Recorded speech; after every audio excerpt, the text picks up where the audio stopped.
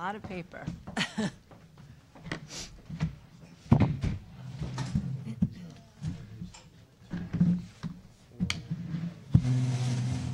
No what? Four opposed. None for. Opposed to.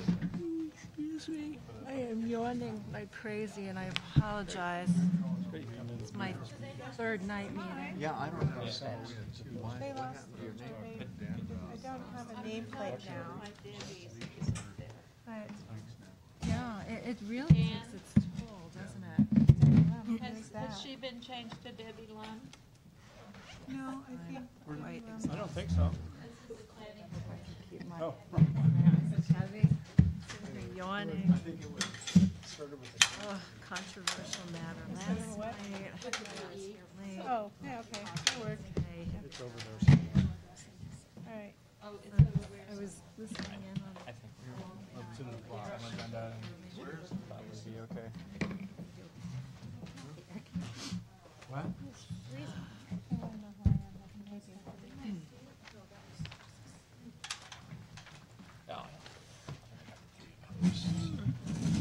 You make everybody else yawn. Is this yours?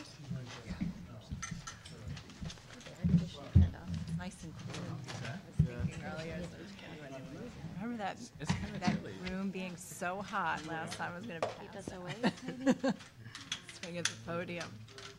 Yeah, it was a hot, it was like so many people And here. I was, in the yeah, front out we there. had a full meeting, and it was like a hundred, it was over a hundred Yeah. degrees.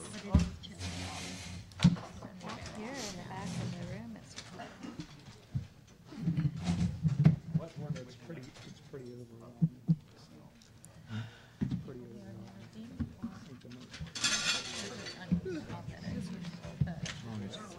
audiences seem to be growing. There's a lot of- Yes, yes.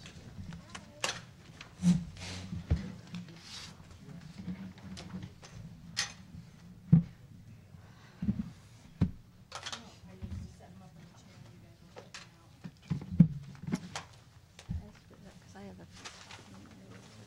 but I didn't. I'm gonna have to go find this. Some coffee.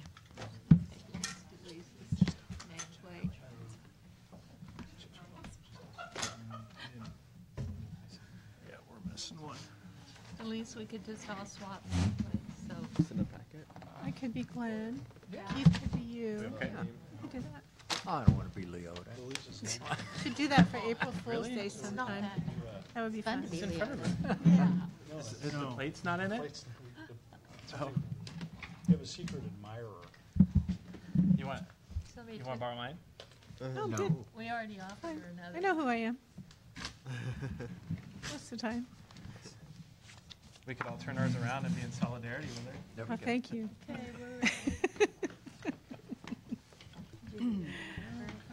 I did, yes. Staff ready? No, we noticed it last week. We're good? Council ready? Ready? Good? All right.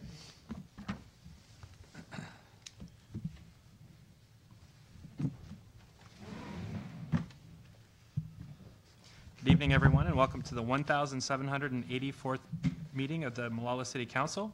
Please join me in the flag salute. Thank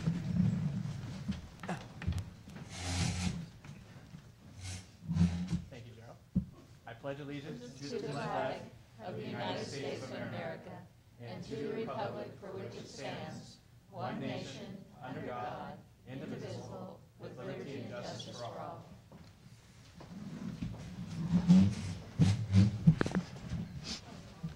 We will go through and do roll call. Start over here. Councilor Colombo present? Councilor Swaggart present. Councilor Borth here. Councilor Childers present? Councilor Klein present? Mayor Thompson here. City Manager Dan Huff present. Finance Director Shawnee Seifert present. Public Works Director Gerald Fisher present. Community Planner Aldo Rodriguez present. Uh, Consultant Stacy Goldstein, present. Thank you. Thank you. All right, next item up is public comment. I have one turned in. Jim Taylor, you want to come up to the mic?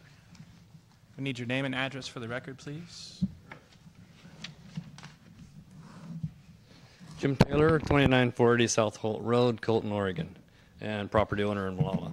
Uh, some issues uh, have come up to my attention from other people in the city of Molalla also. So I guess I have a question for you, Jimmy, is um, if a person does not have city sewer and water, can you send them a bill? If you're not connected to city sewer and water, can you send, can the city send them a bill For, for, for sewer and water? For storm.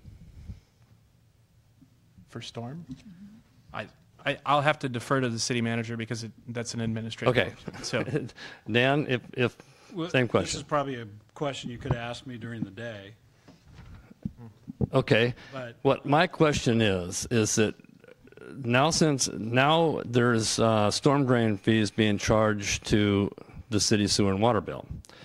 Uh, Some of the properties that, and some of the people I've talked to have, uh, that are not hooked to any storm drains whatsoever are being charged storm drain fees. So I'm wondering if the city cannot provide storm drains and the storm drain running off of their property never ends up in a storm drain facility to the sewer plant, can they still charge storm drain fees? Well, your storm drainage system should not run into our wastewater treatment plant. So if that is the case, we'd ask you to separate those. But if you provide the Public Works Director information on your actual property, we can actually make that determination. Um, We don't have uh, the ability to access our, our utility information on where the water goes from a piece of property from, that has impervious surface and drains to, in this direction or that direction. We could tell you that. Um, If you have impervious surface and you drain onto a public street, a ditch that the city's responsible for, um, we can, we can figure that out. We also can tell you if you have a piece of property, in order to drive from point A to point B, you drive on other city facilities that do have storm drainage facilities on them. So if I get this clear then, even though you do not have some of these properties uh, that I'm talking about, other people, not just myself, um, if you're not hooked to the storm drain whatsoever, because you drive on the city streets that you I are, didn't say it that way exactly. Well, I mean- you're Telling me I said, what I said was, if you come to the office and work with the Public Works Director, he could pull that property up and take a look at where the water goes. okay. That's what I'm saying. A- And so that's what I'll transfer that on to the other people that have approached me about it. They'll go through, we'll come see Gerald and, Gerald, and uh, work that out. yes. Okay? That's what I know. Thank you. thank you. I don't have any other comment cards turned in, but did anybody else want to speak for public comment tonight? We've got a lot more people here than normal, so. All right. Uh, Next item, we have an introduction. Gerald, Yeah. you want to go ahead and? uh, Andy? Oh, did somebody want to? Please, come on up to the mic. We need your name and address for the record, please. Angela Glossley, currently residing in Kelso, but for the 212 Shaver in Molalla here. Um, We purchased the land and property approximately 10 years ago on this October 31st and just came into notifying or getting notified that the zoning had changed when we purchased it. So now, as of the zoning that it is right now, which I believe you guys are going to be speaking and possibly voting on tonight, um, with the residential house on it, if anything were to happen to that house, we could not repair it or replace it unless we put it in something commercial, which unfortunately we still have mortgages on this, and that leaves us with a mortgage that would be way more than just the property alone, not being able to build a, a commercial property on it right now. Um, I guess I'm just asking to consider this for other housing that is also in, with, along that same zoning area, and what, what would be putting them in the same position of not being able to sell or not being able to rebuild with this because mortgages won't take it because of this issue that we've just now recently found. So the, the zoning has already changed? I- It was changed some time ago for that particular When we parcel? first purchased it, it was told, told to us that it was a light commercial grandfathered in residential. um, But since then, and we were able to get a loan on it, no problem back then. But since then zoning has changed and we're not able to get any How- other loans on it because they won't cover it.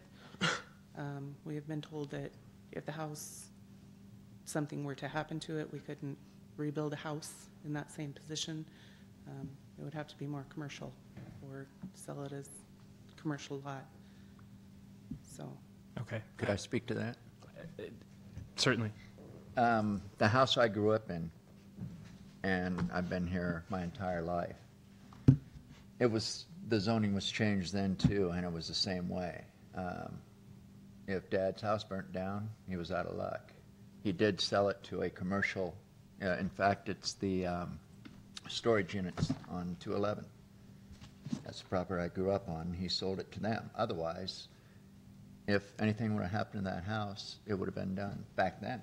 So, We're- uh, Just a point of clarification, we're, we're not considering any sort of zoning changes tonight. Uh, This, this code with regard to that aspect, uh, nothing that we're considering has anything to, that's, that's in our current code. Um, So I- if it, if it was zoned when you originally purchased it, commercial, uh, light commercial, light industrial. light industrial, and there was, there was a resi, a residential, uh, the grandfather lasts while that property is there. If something happens to it, then uh, the, the situation would have been the same. So I, I don't know that anything's changed over, over that time frame, but I, nothing that we're considering tonight would, would make any sort of change to, to that process. Okay, mm-hmm. because we had talked to the city planners and they were saying that it was in a possible voting and that we would know by tomorrow if we had talked, talked to them. S- So in our current code for non-conforming uses, there is a section with, We, Okay. we really, we really Yeah, shouldn't be true. making decisions on this tonight. We- She's talking about something that's on the agenda, so we probably should have her talk about it during the agenda, during public comment, because mm-hmm. it's not during the time to talk about that, so. Okay, so you want to include it in the, the record? Yes. Okay. Yeah. All right. So I'm being, I'm being asked to have you come back up to the mic during the, we're going to have a public hearing on the code. So, Okay, all right, thank you. thank you. in just a little bit. All right. You have an introduction for us. Yeah, Andy, come up to the podium. Um, I'd like to introduce Andy Peters, who are- is our new operations supervisor. Um, The operations supervisor position um, is new to the city. Well, no, it- it- we did have one before, but it's been recreated. Um, The operations supervisor is responsible for the maintenance division and oversees the water and wastewater treatment facilities and does a lot of the day-to-day operation, assisting me with um, capital projects and getting the city business done. So um, Andy came in tonight to say hello and introduce himself, and so Yeah, um, I live uh, in Big Meadows, 1028 Meadowlark Place. Um, and before that, I lived on Hart Street. And before that, I was at the intersection of Tolliver and Main. So, um, lived in Molalla five plus years, and uh, it's a pleasure and an honor to come work for the city. So, thank you. Welcome. Welcome. Welcome. Okay. Thanks, Andy. so all the phone calls that would normally come to me are now going to go to Andy.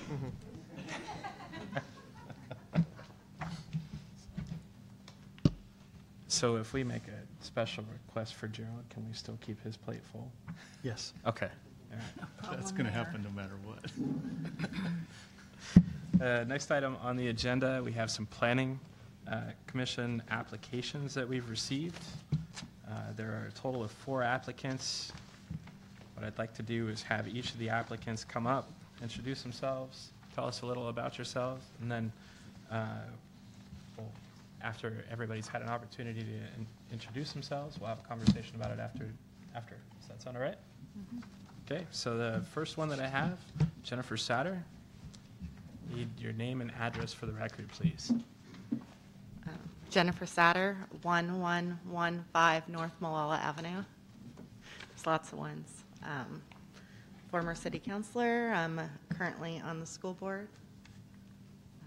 I've lived in Molalla for 13 years. Don't know if- Anybody have any questions for Ms. Satter? That's a lot of volunteer time. Are you sure you're up for that?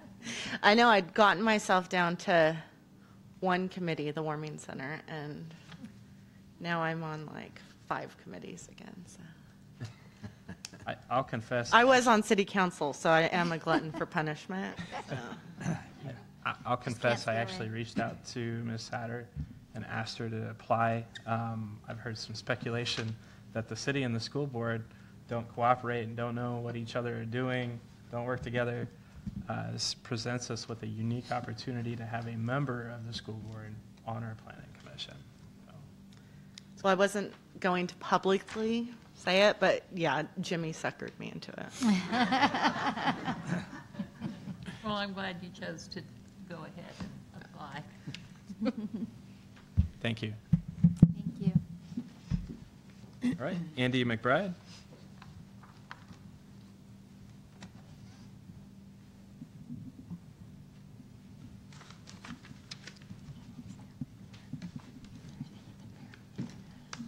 I'm Andy McBride. My address is 34885 South Odine Road. I've uh, lived in Molalla for about 15 years now. I have a general contracting business here in town, and I run a nonprofit called Fix It Forward, also here in town.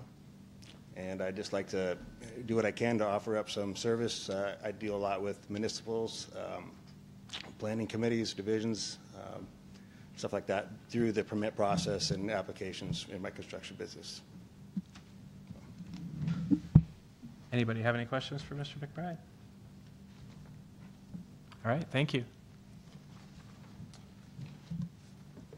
Douglas Eaglebear?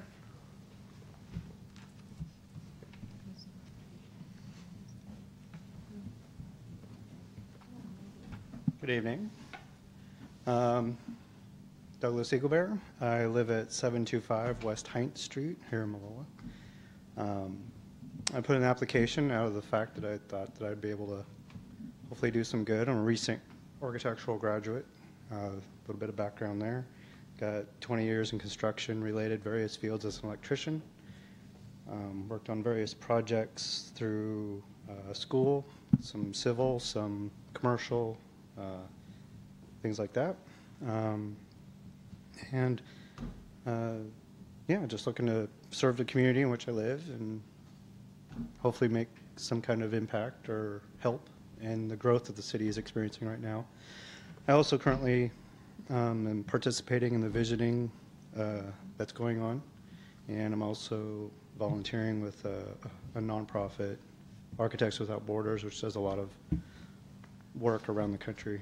Um, so I've been helping with a le- recent project with them, redevelopment of a school park.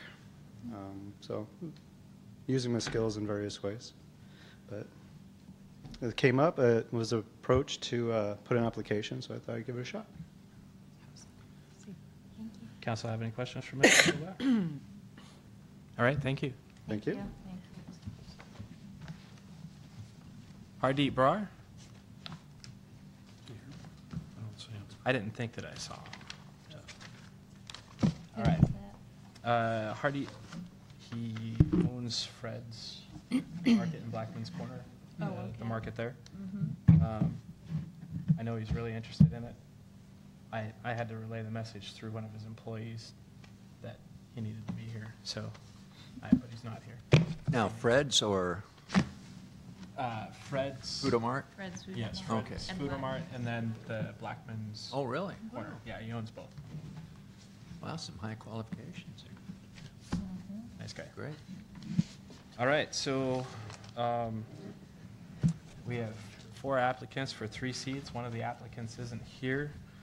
I- I think we've more or less agreed that, you know, we want to have them come to a meeting, talk to us beforehand. So I, I think at this point in time, it makes sense for us to not consider Hardeep for the appointment, which leaves us with three, but that's certainly open for discussion. I think we have three qualified, highly Yeah. qualified Yeah. applicants, and I just thank you for stepping forward. And Mr. Eaglebear, it's good to see you. You are part of the Visioning. We recognize that name. Thank you.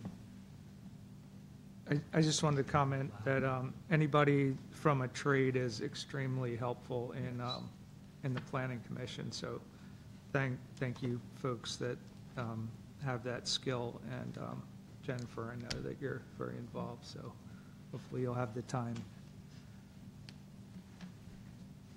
Any other discussion? If council's interested, I'd need a motion to approve the mayor's appointment of the applicants. So be it. Second. I have a motion and a second. All those in favor? Aye. Aye. All those opposed? None? All right, so that would be Jennifer Satter, Andy McBride, and Douglas Eaglebear. Welcome to the Planning Commission. Planning Commission meets the first Wednesday of the month at 6:30 in this room, just so that you guys know. I'm sure you'll get lots more information. Um, Just to give you an idea of what you're in for, I didn't want to show you beforehand, but this is the code that they have worked through. Um, So, welcome. Thank you. That also means that we have a full planning commission. We haven't had a full planning commission that I know of since, since I've been here. Especially that highly qualified. Very Yeah. good news. Yeah. It's really good news. Okay, next item on here is the adoption of the agenda.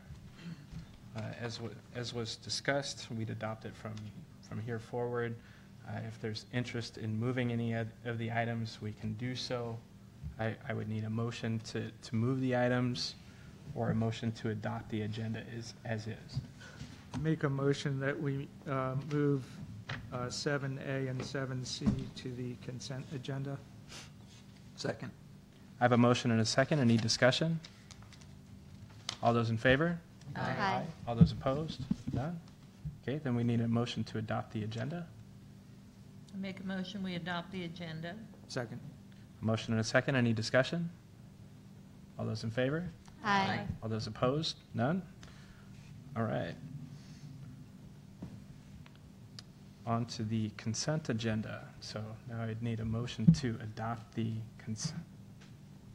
Is it adopt the consent agenda? Okay. A motion to adopt the consent agenda, and it would take care of those I move items we listed. adopt the consent agenda. Second. I'm sorry? A Motion and a second? Yes. Would, would you like to explain what that is, since it's a new item? uh, So Sure. that the public understands what we're doing that's different? Sure. Do you want to explain it? you- you- you- Okay. So a, a consent agenda um, allows us, if there are items that require little or no discussion, um, instead of including them as part of the, the regular course, we can have, we can approve them as part of a consent agenda and then just have one motion that adopts all of those items. Uh, So what we've done, we have the approval of the minutes, which is generally, you know, if we have corrections, we're supposed to get them into the city recorder before the, the meeting. Um, Those corrections are, are typically made. And then uh, we have a resolution, uh, 2017-12, uh, which is a resolution that we're, we're considering because there's been a change of ownership. It's not really anything that, that, uh, that we've done. We're just basically recognizing that there's been a change of ownership. And then uh, Resolution 2017-13, reauthorizing the Molalla Enterprise Zone. We actually already had a motion to reauthorize the enterprise zone, but as a technicality, we need to have a, a resolution to do so. So those items, we've already had discussion. Um, instead of the mayor sitting up here and telling everybody what they're all about, we, we have the opportunity to move them into a consent agenda and then just take care of them all at once. Thank you. You're welcome. Very good. All right. I'd need a motion to adopt the consent agenda. So- Uh, Motion and a second, I'm sorry. We have a motion and a second. Any discussion? Did we have More uh, any amendments to the, uh, to the minutes? I- Any further amendments other than the corrected version that we have? I believe so. Okay, I just wanted to make sure that that was included. Okay. Okay. So we'd want the corrected. want the corrected minutes. version. All those in favor? Aye. All those opposed? None? So be it. All right, that brings us to the public hearing. I have a script to keep myself from getting in trouble. So tonight, we have a public hearing regarding a new development code initiated by the city of Molalla and is recommended for approval by the Planning Commission. Tonight's public hearing process is a legislative action pursuant to section 19 04 19.04.070D of the Molalla Municipal Code. The purpose of the public hearing is to take testimony from persons affected by the city council's request, requested land use, action, and ordinance adoption. The public hearing is your opportunity to comment on the application before council makes a decision. Before I open the public hearing, we need to ensure that those of you in the audience tonight understand how to participate in the public hearing. If you wish to make any comments during tonight's public hearing, please wait until you are recognized and then come up to the microphone. Clearly state your name and address for the record before commenting on the proposal. Please keep your comments brief and under three minutes. While anyone may comment during the public hearing, the ability to appeal the council's decision is generally limited to those who have participated in tonight's proceedings. So if there's, if there's any sort of issue in the future and you want to appeal the decision that's been made, saying something, stating your opposition tonight is important. Uh, At this time, I will open the public hearing for file number P-6-14, an application for a new development code initiated by the city of Molalla. Will staff please present a summary of the staff report? Yeah, and I'm going to begin the process here real quick. Um, I'm going to turn the staff report provision over to Stacy Goldstein, our consultant in this matter, in a moment. But I just wanted to give the council and, and those of you in the audience a, a brief history of the process of our development code. Um, This process started almost two years ago. Uh, Next week, it will be two years. And um, the Planning Commission has reviewed this and obviously provided the City Council with a recommendation of approval. Uh, That's a recommendation that the council should consider but not be bound by. And um, so what you have is, a- is a development code in front of you tonight that amends the existing code. The existing code has a number of inconsistencies, uh, a number of problems in it, not only from a staff level, but also from a uh, development or developer level. Uh, The city tried to amend the development code before I arrived here. Um, That, that process stalled for some reason, so we picked it up again and we're finishing the process. The code before you is a code that complies with the statewide planning goals. It complies with administrative rules that the state of Oregon has required city, that requires cities to um, comply with, complies with your comprehensive plan and other documents that we have. Uh, You're also going through a transportation system plan process that will be done in uh, next summer sometime. At that point, we'll probably look at amending some, uh, some uh, portions of this code. This code is a, is a document that can be changed. It's not a, it's not a code that sets fees. It's not a code that um, uh, deals with existing properties. It deals with future development and kind of provides a framework for how the community develops and how you would like to see your community develop from here forward. We did receive some comments from some folks in the community over the last few days. Uh, That's uh, in this citizen comment component there. We, we do have a couple of comments from uh, two city councilors, Councilor Boreth and Mayor Thompson. We also have some comments from uh, Mr. Bill Avison. We also received comments, oh, I gotta get a name here, from David Church. Um, And those comments are in this packet of citizen comments on the development code that, that uh, you'll want to consider tonight. Uh, Those will be included as part of the record. It's part of the record.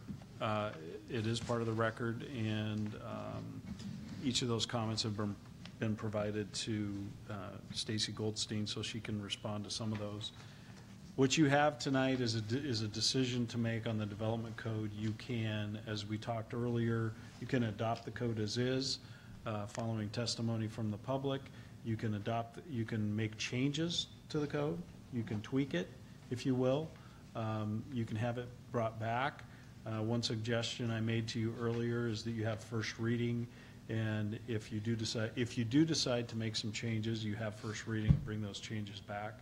Um, It's a long, it's been a long process, and don't forget that you, you know, we will find things six months from now that uh, as, as we work through this code, that either we don't like or we didn't include in this, in this document.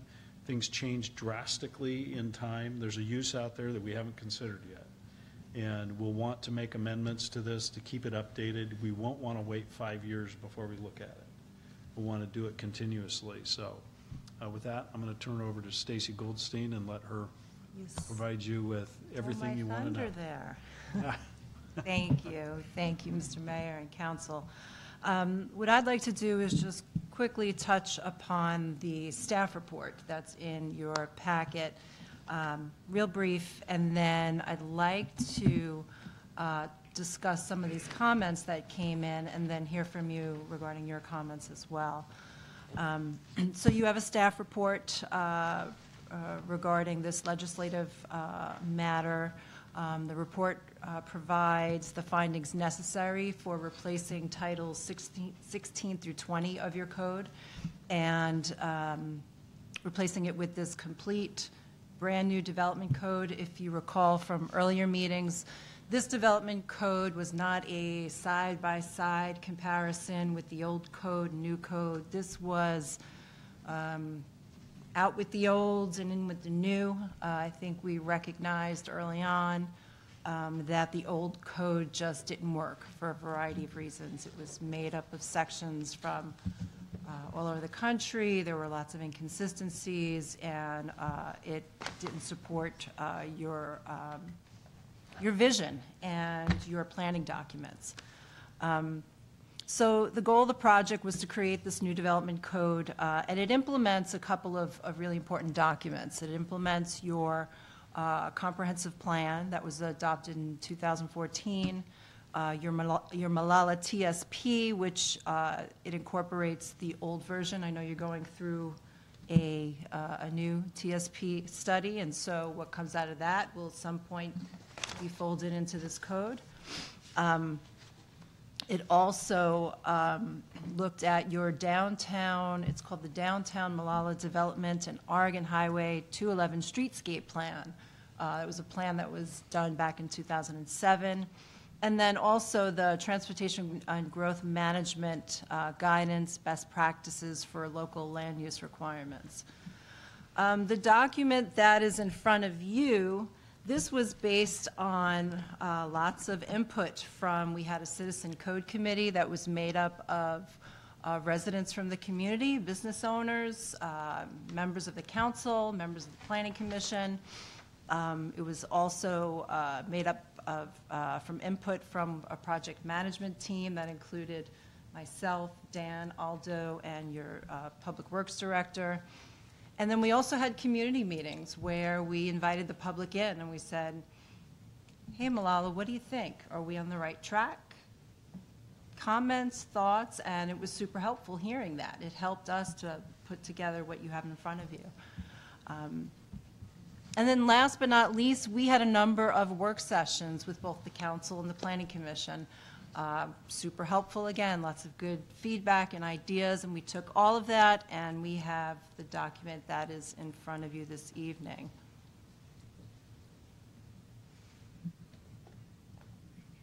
I apologize, I'm getting over the, the cold here.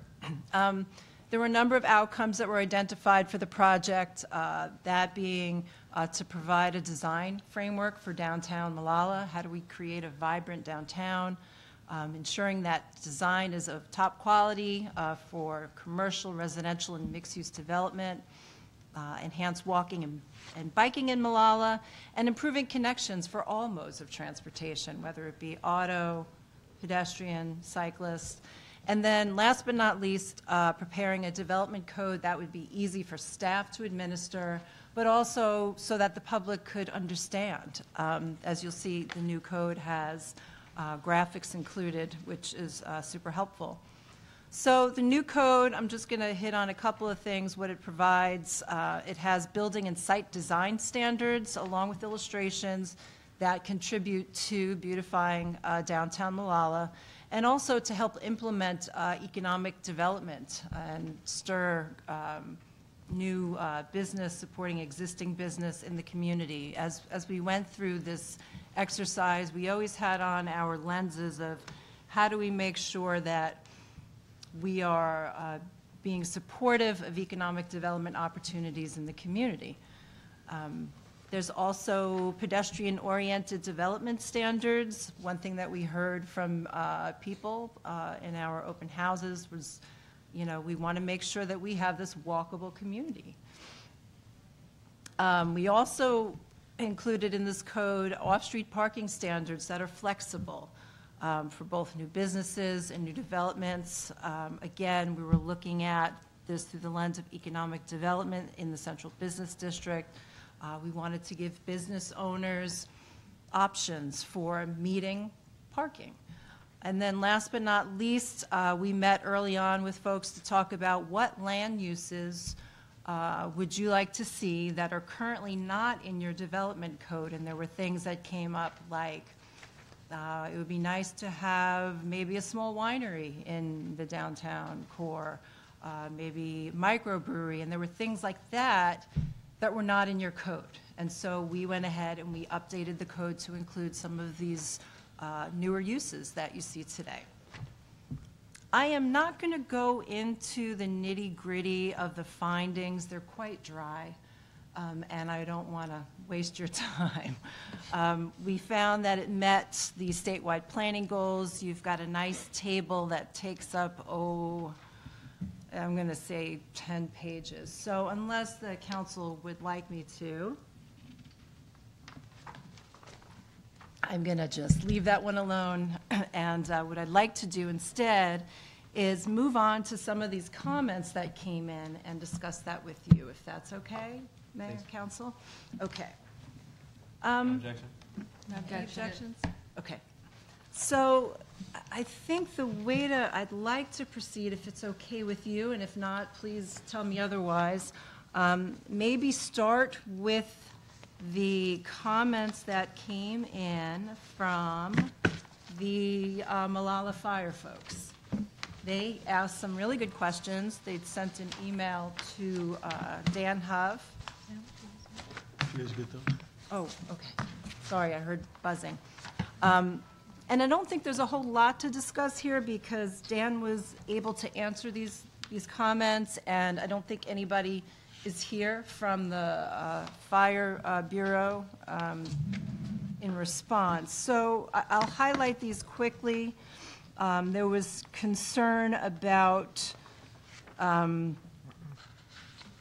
during their seismic upgrade, um, how will this affect them? Um, And the response that we provided to them is that this won't affect them. Um, Worst-case scenario, we might need to uh, issue a temporary use permit, but uh, all in all, this, uh, this new code should not affect that. Um, We received a comment from um, Mike, can you pronounce his last name for me? Thank you. Um, Who is complimenting something in the development code here where it says where applicable codes require emergency vehicle access, approaches and driveways shall be designed and constructed to accommodate emergency vehicle apparatus and shall conform to applicable fire protection requirements. And so the comment that we received, uh, and and I concur wholeheartedly, is that it's important for the city and the fire district to make sure that we are working together uh, when these applications do come in, so that we hear from them, because their comments are so important uh, with these land use matters. Um, there was a concern uh, regarding traffic calming devices. The standard reads, "The city may require the installation of traffic calming features such as traffic circles, curb extensions, et cetera." Um, And the comment here was that the concern is that there are some very good ones, and then there's some very bad ones. And so um, He goes on to say that um, they might be necessary in high pedestrian traffic areas, but they just wanted to make sure that they will still have input on what type of devices, and they'll have a say. And, and again, this, this code incorporates close to uh, coordination for development app- applications with the uh, fire folks. Um, Glasses have to come off again, sorry. On and off, on and off. Then there was a section in here uh, under fire code standards, and the comment, the, rather, the standard reads, where fire code standards conflict with city standards, the city shall consult with the fire marshal in determining appropriate requirements. The city shall have the final determination regarding applicable standards. This was apparently the most concerning, and the way that they were reading it uh, was that if there was a conflict between the fire code and city standards, then the city would have the final say.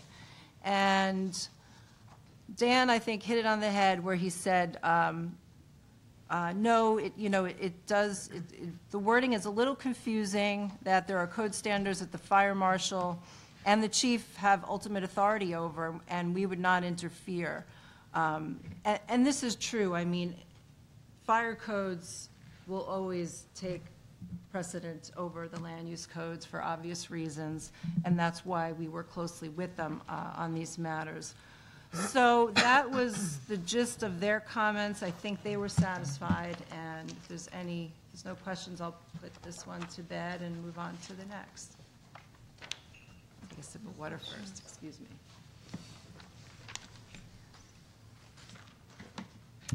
Um, let's talk next. Again, glasses off, my apologies here. That is the parking.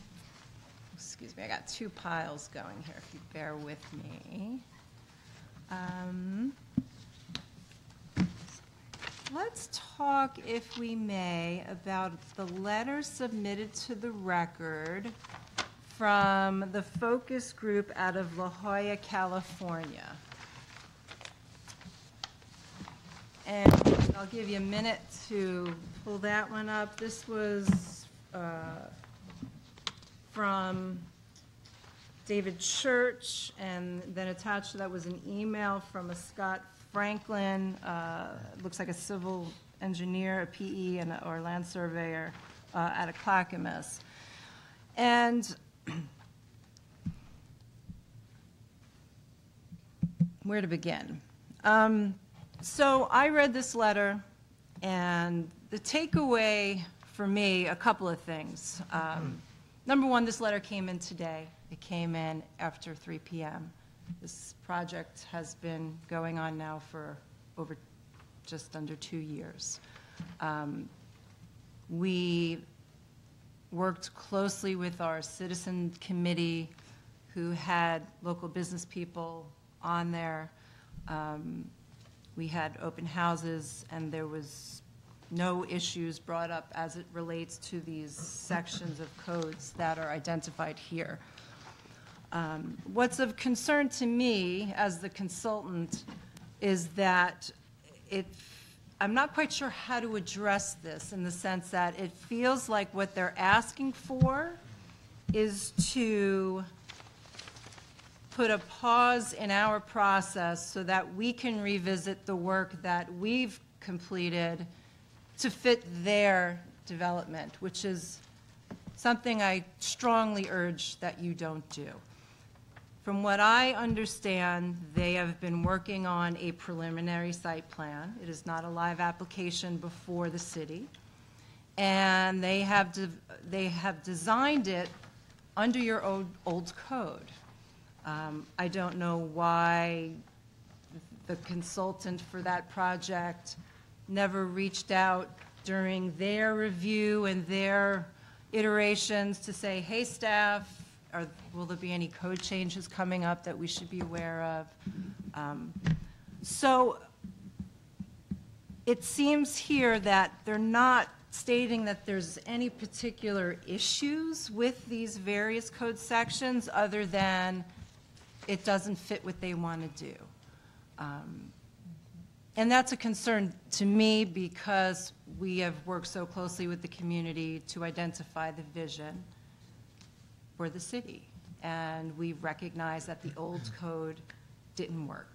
So I'm going to kind of leave this one out there. We can discuss it further, the council and city manager.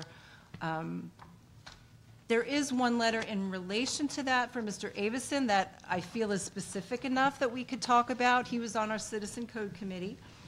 And this letter, if I'm reading this correctly, oops, wrong letter, sorry. This looks like my desk at home, I must confess. Um, Where did it go? Uh, Is this Mr. Avis? Oh, yeah, Avison Lumber. I had it right in front of me, sorry. Um, So Mr. Avison brings up um, some concerns uh, with drive-through uses, the code provision under 17-3.2. And we discussed this, uh, if my memory serves me right, with our Citizen Com- Code Committee uh, for a bit, because there was a lot of really good discussion about what's appropriate for Molalla.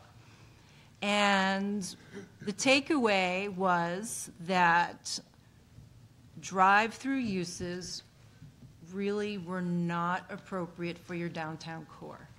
Apparently, you have, I believe, two existing today, and they are problematic for traffic patterns, uh, and equally important, they're problematic for pedestrian, uh, for pedestrians moving through the vicinity of the drive-throughs. And so, what we decided, based on these discussions with the Citizen Code Committee, and then again at the Planning Commission, because the Planning Commission also, they were curious about this as well, um, we decided that it made sense to allow these uses in the C2 zone, which is more of your general commercial type use zones, but provide a separation of 400 feet from each drive-through use. And the point of doing that is to prevent a couple of things. One, if you have too many that are clustered together, you will typically wind up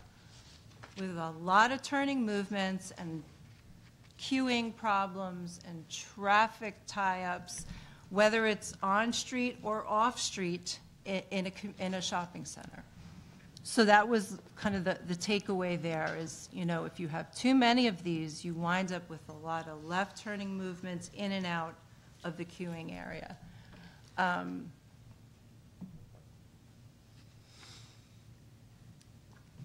The second part of this pertains to the city's desire to have a more walkable community. And if you have too many of these drive-through windows, you need to have a lot of curb cuts, and that interferes with pedestrian safety and pedestrian comfort moving through a community, because you're concerned about cars coming in and out. And that's why the 400-foot is a common standard used in other codes. Um, This is not just an arbitrary number. Um, It's used to, to allow for adequate separation. But One thing I also want to point out as it relates to the uses, we're not limiting the, the retail or the, the restaurant uses per se. They are allowed, but we're putting a limitation on the distances of the drive-through components of those businesses. And I know Mr. Avison provided a nice letter here. Um, It sounds like, um, I'm just briefly kind of scanning it again. Uh, I guess there's two national firms looking at uh, his land for development, and they want a development, they want to develop in ways that would help revitalize Molalla and allow residents to shop local. Um, and that they'd be unable to proceed with their projects um, with this drive-through restriction. Um, And then he provided a map. Pharmacies. So the question, I guess, that is presented to you as the decision makers is, you know, what are your thoughts as, you know, as far as allowing uh, drive-through businesses to be close to one another? Do you think that there would be potential negative impacts for allowing that um, versus keeping that 400-foot linear requirement to just allow for adequate separation? That's kind of the big one uh, from uh, Mr. Avison. And because these two are tied together, do we want to discuss this before we move on, Mr. Mayor? Is that how you'd like to do it, kind of individually? You could talk with the council? Or did you want me to Um, go through all the? I'm ready to. I think that's a big one, yeah. So far, I've heard you talk about conforming to all modes of transportation, but what I read in the code cha- code changes, just about everything in there says bikeable, walkable, bikeable, walkable, bikeable, walkable. So are we conforming to, are we alienating businesses from coming in by saying, gosh, you know, can't walk over that because cars come in, and- I mean, No, I think the list, I mean, if you step back and you look at the list of uses that are in the code, that list of uses, allowed uses, that's been expanded. You have more opportunities for different businesses to come in. What this code provision does, it eliminates potential traffic jams and traffic situations that could occur in your community as a result of having too many of these close together. we've already got that. We're still gonna have- With housing. Ca- Councilor Swigert, we're, we're still going to have an opportunity to discuss all this at the, at the end of the public hearing. Okay. Versus having all the, all the discussion during Okay. the, the public hearing, and we have some more testimony that we're going to receive. So what what I'd like to do is, let's, let's go ahead and go through the items, you can respond to them. We'll have the people that we have here to testify go ahead and come up and give us their testimony, and then we can go ahead and close the public hearing and go into our discussion, if that works for everybody else. Mm-hmm. Okay. Thank you, that's great. Do you want me then to continue with the Please. next? Okay. Um, So that one, and I believe, are these the final comments uh, from Mayor Thompson? Yep. Okay. Yep. So Mayor Thompson submitted some uh, questions here to address. Um, The first one is regarding, let's see here, uh, Table 17-3.5.030A.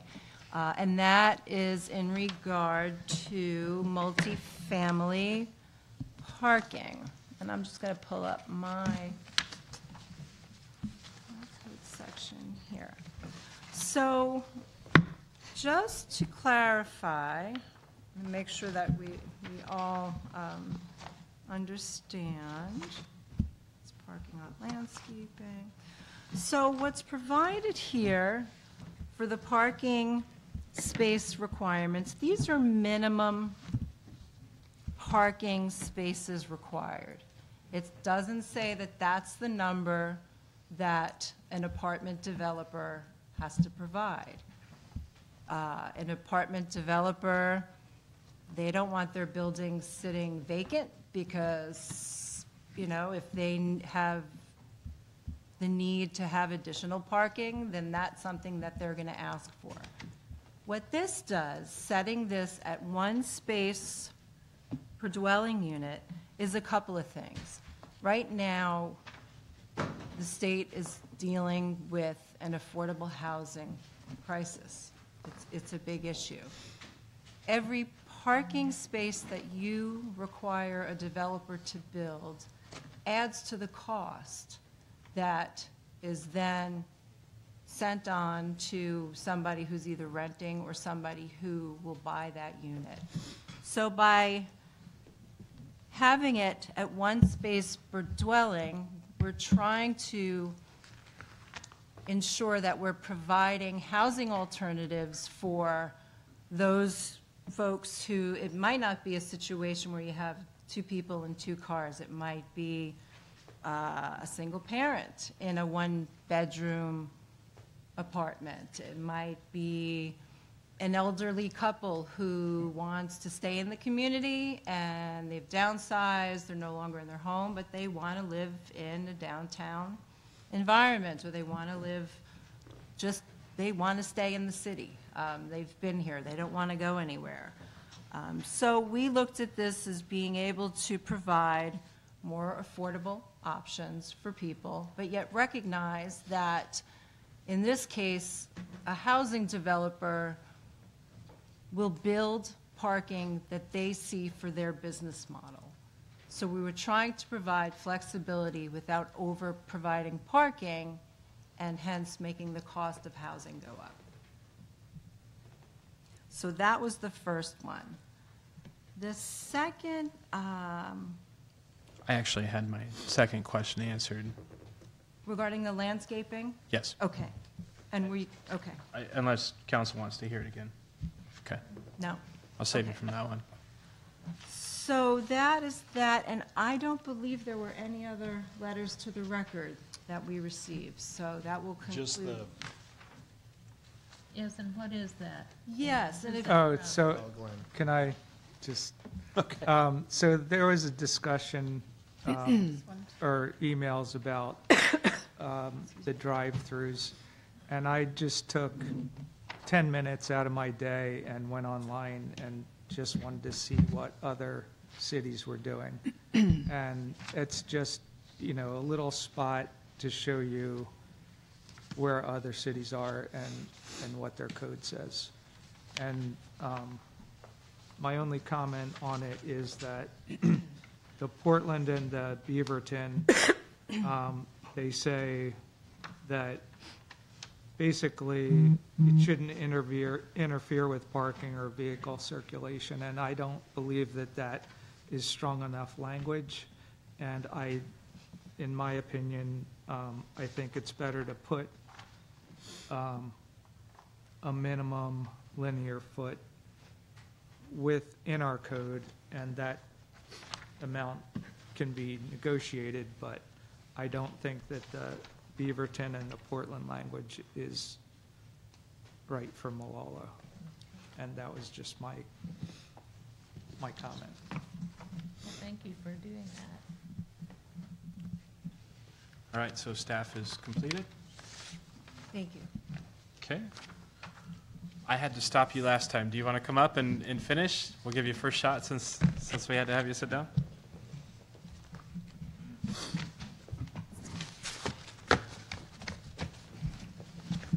Hello again. Uh, My name is Angelique. I'm currently residing in Kelso, Washington, uh, owner of property 212 Shaver.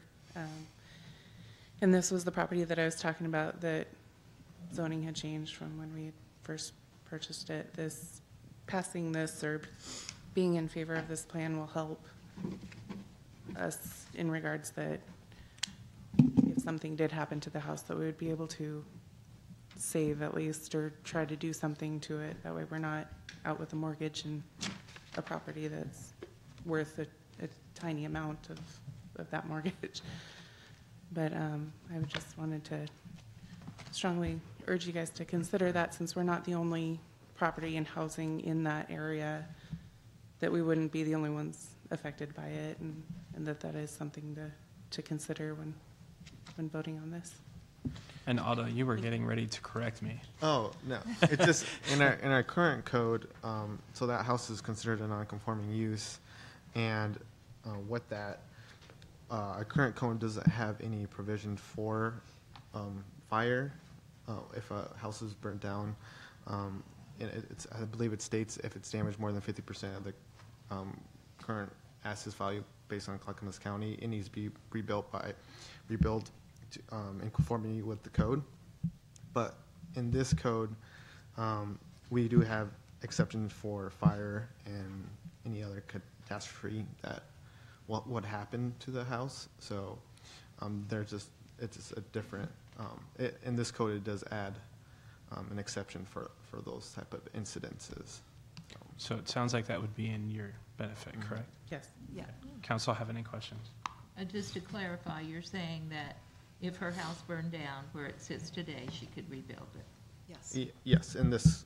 In, If we Within adopt the this new code. code. Yeah. Under the, yes, Yes, under the correct. provisions, but Yes. nonetheless, there, The- she could rebuild. Yeah, the, the language specifically is uh, in section 1.4, and if you look at 1.4B, destruction, there's a statement in there that says, "This does not preclude the reestablishment of a nonconforming use after fire or other catastrophic event as allowed under section 17.14.020."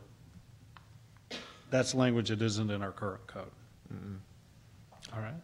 I just wanted to point out that we have a lot of historic buildings in Molalla, so this is a good way for them to be able to maybe preserve those without having to rip them down.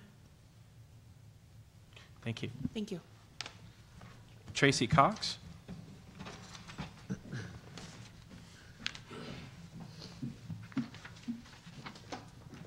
My name is Tracy Cox. I live at 14411 South Buckner Creek Road in Mulino.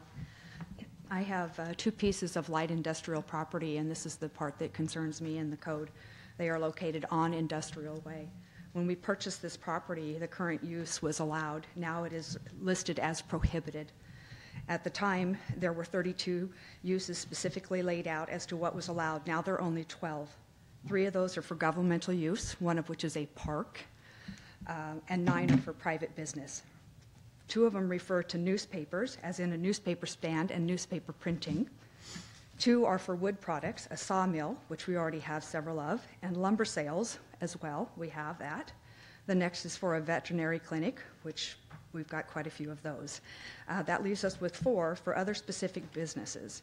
And my question is why are we being so restrictive in our industrial use property? why are we limiting these businesses from future expansion or from the property from being able to be changed to a different use should those tenants leave? The businesses on my property provide approximately 45 living wage jobs. It will be hard for these businesses to maintain a business plan if they are dependent on constantly changing overseeing staff, such as yourself, um, that is elected or appointed. Uh, you, you know, you can't make decisions if, if staff is, and the opinion of staff is constantly changing. So I'm asking the city to allow me to keep what I purchased, which was conforming use, um, with a variety of options for that use. And that's all I have to say. Thank you. Bill Avison?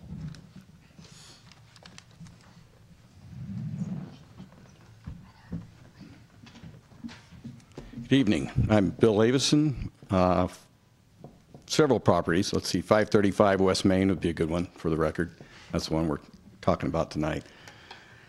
Thank you, Mayor and Council and City staff for my chance to uh, talk. And Stacy, I think I want to address some of your comments if I could. Uh, You you all had a chance to read the letter. I think the, my most uh, alarming thing when we put this together, only had a couple days, and let me explain why, is I did sit on the Citizen Advisory Committee, and it was my understanding that the 400-foot lineal restriction only applied to C1. And actually, the first tables, it had CU for uh, the central district, and then it went to a complete no in some of the, the new drafts. So I had sent some emails out. In fact, my letter is in a previous uh, comment to the Planning Commission. It's shown as an exhibit, but I never saw it in any of your uh, paperwork. But it, I did say I think this was a typo, and I kind of sent the message to Aldo. And I never heard anything, so I still thought, well, it's typo, you guys are going to fix it. Then the, the thing I noticed early this week that it wasn't a typo, and that you were going to apply, or the, the proposed code would apply the 400 feet to C2. So that's where we came up with this map. Well, basically what this shows is that you can do one or two drive-throughs in the entire city with a 400-foot um, distance between them. That's what the little red dots show is all the existing drive-throughs. And, and Councilor Boreth, I understand your concern. Uh, The one- paragraphs one through four in the code, the way I read it, strictly restricts a lot of things that go on through drive-throughs, mainly transportation. You can't queue out in the public streets. I think, uh, Stacy, you mentioned that curb cuts was an issue. There aren't any curb cuts from my- what I understand from our buyer and developer, and uh, the project engineer is going to speak to that, I believe, next. Um, So that's not going to interfere with your public streets. That's a key thing. The, again, the 400 foot, it just not really workable when you look at the list of people, not, you're not going to have 25 fast foods, not to scare anyone, but the, you guys saw the list. Those are all people that would, could be interested in Molalla. You can pick one or two, including the banks, including a post office drop box. That's considered a drive-through. You get one of those, you get one other piece. And as this map shows, the only property that's really clean is the property that's west of ours that, that has not, doesn't have any drive-throughs existing in that 400-foot uh, circumference. So that's, um, I'm not going to keep dwelling on that. I think the one thing that, that everyone probably knows, we've had mill property here forever. We're trying to get it developed. We have kind of a, an eyesore, as everyone knows, across from Bi-Mart. The first time, the reason this is a major deal is Molalla has not had a major commercial development, and I'm talking major, and, and I think some of the other folks are going to speak to that later, in probably 15 years. I think Safeway's the last one. And so that's why, you know, they did not look, and I'm I'll let them speak for themselves, but they did not really have an opportunity to look at the code until they had their tenants lined up, which was literally in the last week or two.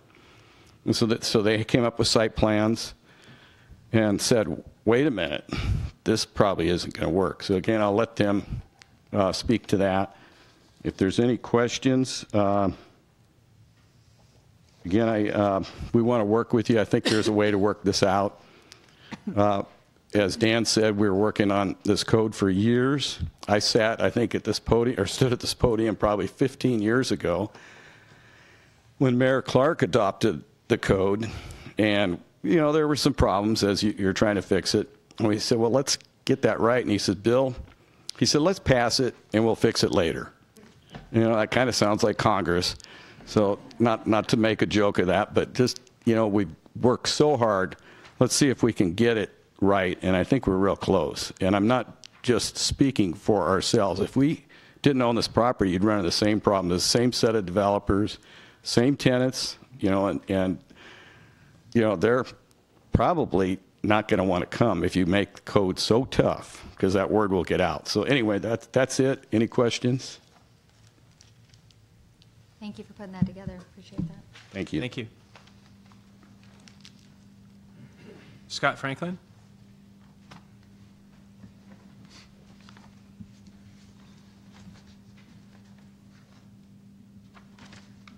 Good evening. Uh, My name is Scott Franklin with the engineering firm PACLAND, 10135 Southeast Sunnyside Road, Suite 200, Clackamas. Um, I represent the, the uh, developer at the northeast corner of Main Street in Dixon, uh, Bill's property. And um, we were just aware of, of this new code language uh, actually this morning. Uh, As Bill mentioned, my client is, uh, was trying to get his property mix, his tenant mix, and uh, uh, not until he was able to do that could we dive, dive deep into uh, the, the current layout. So uh, my firm has been doing, and I have been, been doing this work uh, on the, the commercial, retail commercial side for about 18 years. And I represent um, local, regional, national retailers, uh, developers, architects, uh, work directly with retailers.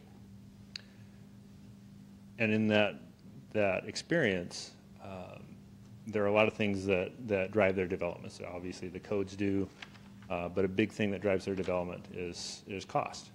We just talked about costs on the multifamily side on the parking and how important that was for, uh, to, to limit those costs. But the discussion about moving buildings out along the street, uh, adding transparency to it, uh, basically shaping that as a, a more uh, urban development, commercial development that you might see in Beaverton, or you might see in Portland, or Hillsboro. Um, those things add tremendously to the cost of the project. You have retailers that are, have their, the internal workings of their store fixed, and then they build the, the exterior around that. They build the elevations around that. They have their stock rooms where they need to have them to, to, to deal with their, their national programs. And to add windows to some of those back stockroom areas, uh, you're going to end up with views into their stockrooms, and, and it adds to the cost of the site, adds to the cost of the development. Pushing the buildings out to the, the street frontage, uh, again, adds cost to the development, but what it also does is it puts the loading operations and, and the, the really the, the, the back room uses, it commingles that with the, uh, the customer use because there's, you have to load the store in some fashion. And which is, when it's pushed out into the street, what you end up with is having to load that store internally. Um, a more traditional development loads those typically in the back, so you can avoid those conflicts. So that then becomes a, a safety issue. That's not to say that that never happens in, in other more urban development, but in more urban development, the market is different, the, the customer density is different, and the store projections are much different.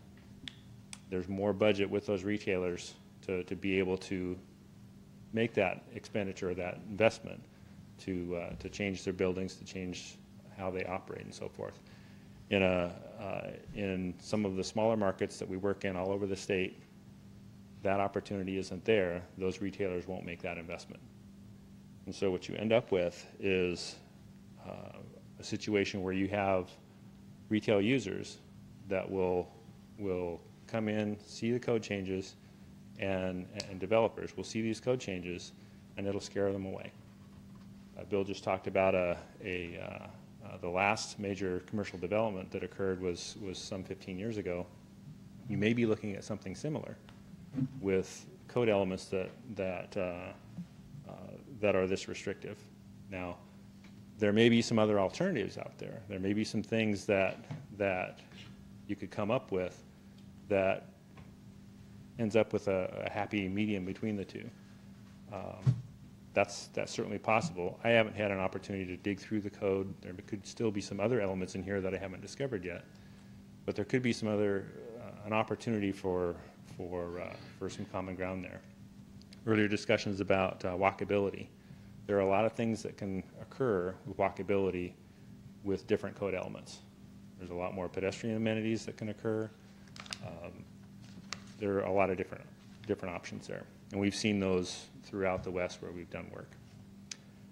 Um, I guess the, the Bill talked a little bit about uh, uh, the drive-throughs, and uh, he's correct. In, in this particular development, and, and in many developments, if you look at the, the, the city, you have drive-throughs, and most of those drive-throughs don't go directly out onto the street.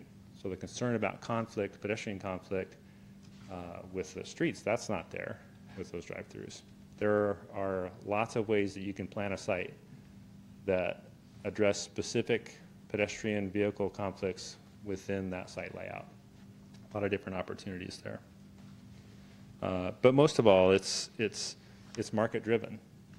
And what you, you could end up with is a code that scares away retailers, uh, scares, scares away tenants, and those tenants aren't, um, they're, they're things that uh, a lot of people like to see, banks, coffee shops, um, and, and those don't have to be national retailers. They can be investors in your own community, people who've lived here for ages trying to find a way to reinvest back in their community. Uh, as written, it would prohibit that or make it so uh, economically unfeasible that uh, they'd have to look elsewhere.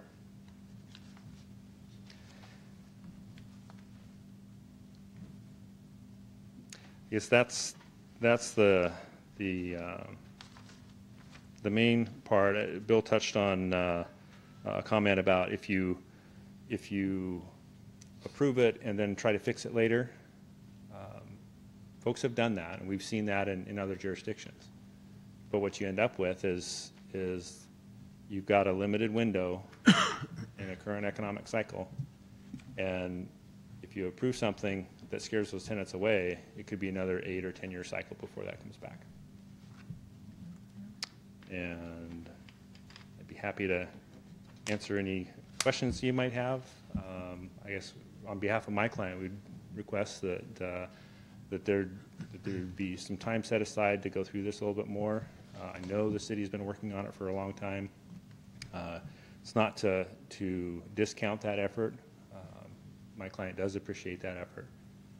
But trying to find a, a way to deal with some of the concerns that generated the, the new code, uh, and trying to work through a different, perhaps a different solution for that.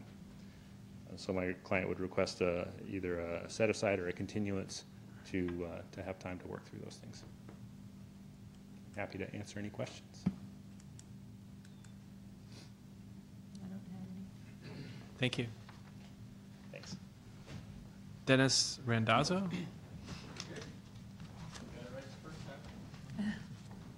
We'll hand out for everybody, how's that? Oh, good, more papers. Got a paper explosion going on here. Yeah, temporary. Thank you. Right there in the front. Is this, uh? Okay, all right. Just making sure we're not getting in trouble.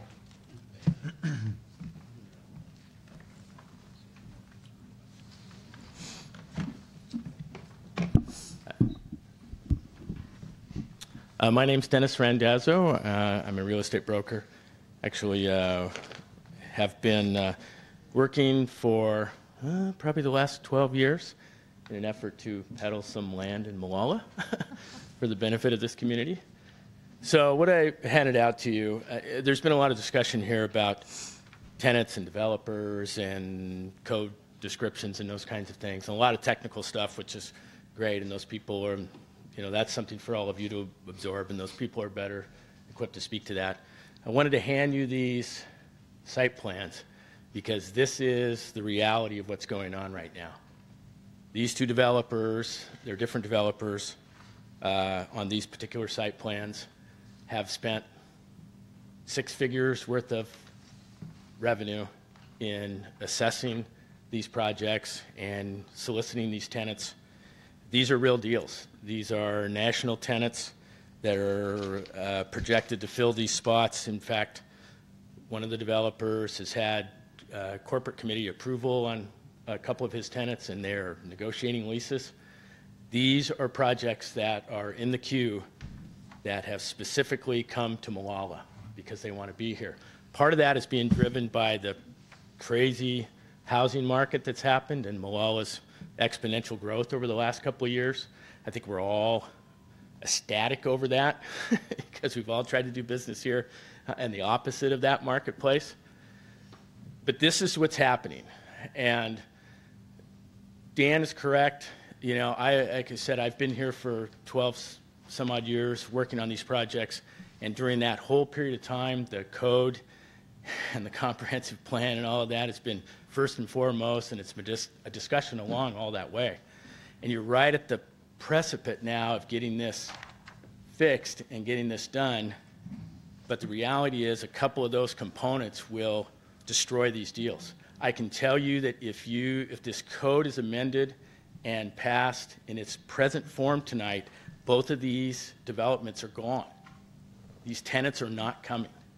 And Scott spoke to that in an MSA that might be a million people, like the Portland market. They may be able to adapt to some of those changes in the configuration of their buildings and the orientation. But in a market like Molalla and any other small community, they can't do that.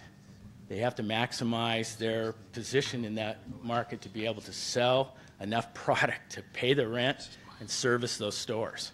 And that's not going to happen under a small part of the code. And Scott mentioned that. He hasn't had a chance to look at it. And, and I haven't, frankly, to be honest with you, looked through the whole thing either. But the drive-through, the orientation, and some of the things that were spoke about tonight, those are constraints that will create a situation for these developers to pass on these projects. projects that frankly are potentially a couple hundred thousand square feet of vital services that this community needs to support this housing growth, uh, that the general public would love to have. I get, if you'll notice, there's a proposed grocery store on a couple of these things. I can't, in fact, most of the people in this room, and many of you have contacted me direct, get us a grocery store, get us, get us a, you know, some food choices, get us some restaurants. We have a chance to do that now, and some of those things are components in these two plans, but they will not come if this code is passed in its present form. So I, my message is you're this close. You know, don't make a mistake that a few weeks or a couple of months could fix, that everybody could get together, there's a consensus group, there's a, you know, everybody has got the same goal. We want to see Molalla grow. We want to see the commercial development of the community that's designed to be commercially developed and the continuation of your housing growth. And this is a vital component to do that, and it will go away. And we're, we're all starting over. And it may be, it's been 12 years to get to this. I don't know if it's going to be another 12 years. But the reality is, you have an opportunity to make some of these deals now and do this, and, and, and if, in a few weeks or a few months, and maybe not even a few months, a couple of months to fix a couple of these things, I think is time well spent. Thank you. Thanks. Can I ask Counsel, a question? yes, Yeah. please. Um, you, you've mentioned a couple of things. What are the two main things that you think are most problematic that you've seen? Well, the orientation with respect to moving the building, the building sites, and, and changing those. The other thing that that does, when you, when you change those orientations and you start mixing service and, and customer areas, then you have potential for, I, I- mean, it's, you know, a delivery truck that's driving, that's got a 55-foot trailer, that's going to be bringing product through the front door, or, or has to, ha- they have to actually drive their truck through the parking areas to get to an area. You know, they can't see a four-year-old that's this tall that may ultimately jump out of somebody's car at a parking spot. So that's, that's an issue. The drive-through thing, I guarantee you that with respect to the city, Dan and Aldo, and, you know, they're not going to allow a project to be situated that's going to create a public safety problem.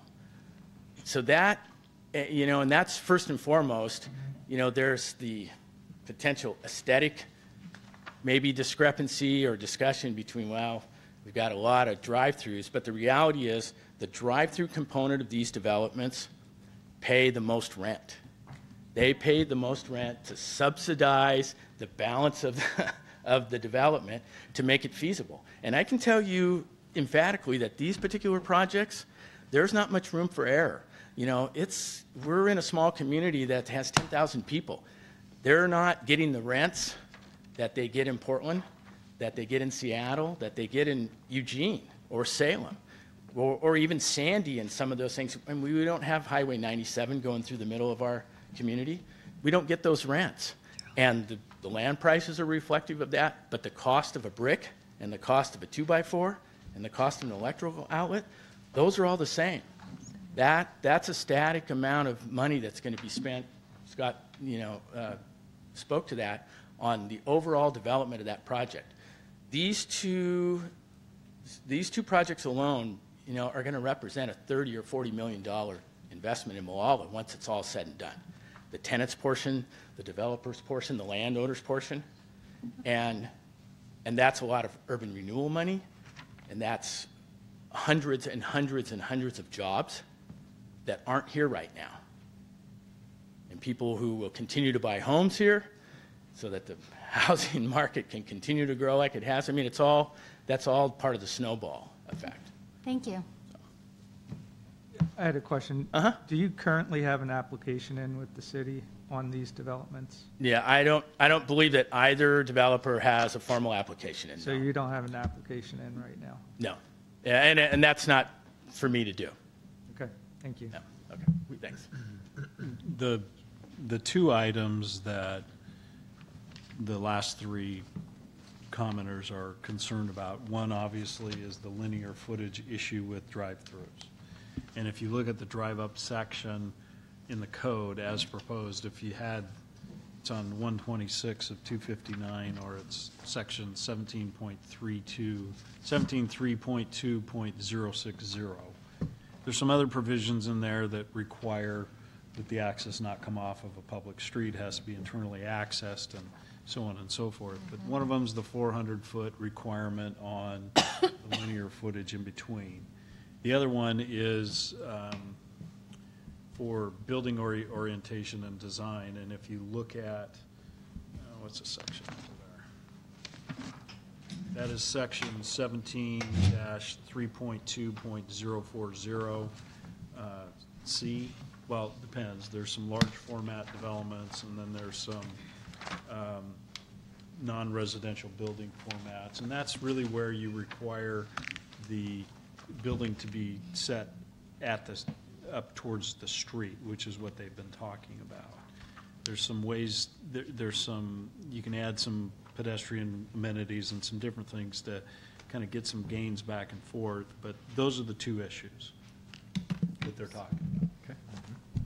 And I think that, you know, when people talk about this code, you know, I don't know, I don't know what the uses, you know, um, there's a couple of properties on Industrial Way, I don't know which prop, what, what the use is there, but, um, when you talk about this code, there's a lot more than just these two issues to deal with, with this code, that we solve with this code. So, um, you know, if you want to, if you, if you want to consider doing an alternative, um, not adopting the entire code or removing a certain aspect of the code or, or something like that would, you know, maybe something to consider. But there's a lot more to this code than just these two issues that we're talking about right now.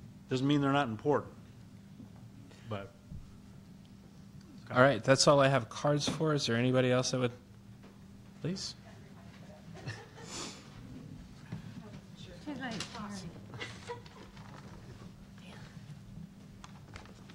Name and address for the record, if Hi, you would. I'm Terry Schenkel, and I live at 84 840 Explorer Avenue in Molalla. Um, I am also a property owner on um, Main Street and on Shaver, and what was once light industrial, of course, has been changed to, I don't even know what my properties are anymore, quite honestly. Um, My concerns are, of, uh, again, like uh, Tracy Cox had said, if, when we go to sell our business, are the, the existing businesses there, are those people going to be able to still, the person who buying my business, can he still operate the type of business that we have at those two locations? So that's, that's one of my concerns. My other concern is, please, councilmen, people, council people, please consider holding off or changing the two items that these guys are talking about. This is really serious to our city. I've lived here for 43 years, probably not as long as Bill, but a long, long time. And I've seen things come and go, and there's been so many changes and people changes, and some of it's been good, some of it's been bad. McDonald's has the type of um, problem that they're talking about. Their trucks are coming up and they park right there in the middle of the road to unload. They don't have a place to do it. And I can't tell you how many times we've come through the Safeway parking lot and people are darting and cars are going, and I can't believe there hasn't been an accident there yet. So I, I know that issue is majorly important. And the, um, we need businesses here you know, and there aren't that many properties around to develop really for the businesses. I mean, I think our downtown core is we have a lot of rental space available, but we don't necessarily, unless someone's going to tear down a building and start over, there isn't a lot there for these drive through things. But there is farther going out of town, both directions, I suppose, and again, the industrial way and stuff. I, I really think you need to stop and consider those two things. I know that, you know, yes, you can change things, but I know growing up when we moved into the house that dad built, it was never finished. And you know what? It never got finished until we moved. And that's what's going to happen with this too. I hate, you know, that's just that's just how we are. So anyway, that's what I asked you guys. Please, please consider those two items. Thank you. Thank you. All right, anyone else?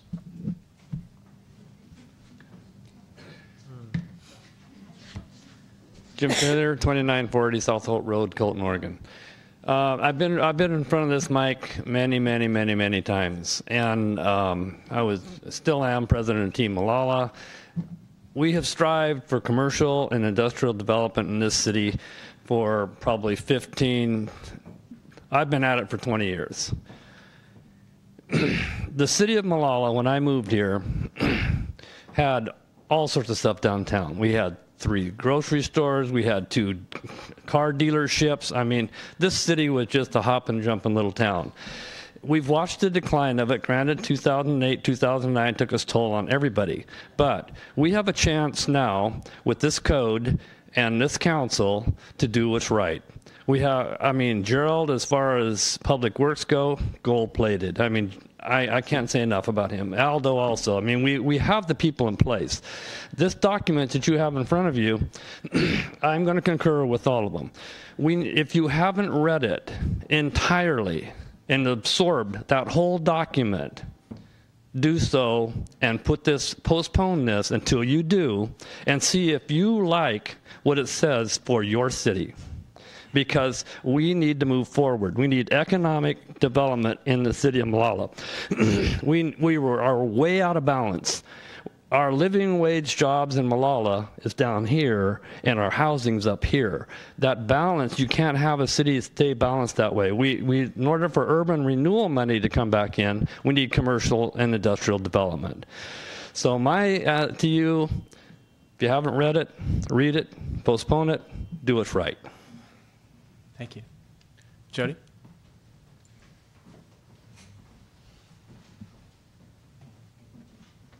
Hi, my name is Jody Newland, and I live at 321 Chinook Street here in Molalla. And I just wanted to make a comment about the multifamily housing parking. Um, I understand the idea of wanting to make it cheaper for them to make more units per the space, but I think that whatever we require as a minimum standard, that's what's going to be followed. So you made great points about maybe there's single parents living in apartments, but on the opposite end of that, there's also cases where there's multiple families living in apartments because it's so expensive. So then there's way more cars. So I think that we need to think about that minimum standard. Do we really want that as a minimum for Molalla? Thank you. Jennifer? I wanted to also speak to the minimum parking issue. Um, I think before you make a decision on one car per unit, you should drive down Pegasus and maybe talk to the residents there that can't park in their own driveways. That's it. Thank you. Can Anyone else? what- Can I know what that relates to? I It's, have no they're idea relating she's to, a- talking it- what she's talking about is a multifamily housing complex to the north that doesn't have enough parking. Oh. So they. Under the overflow. current standards. Okay. Anyone else? All right, let me go back to my script.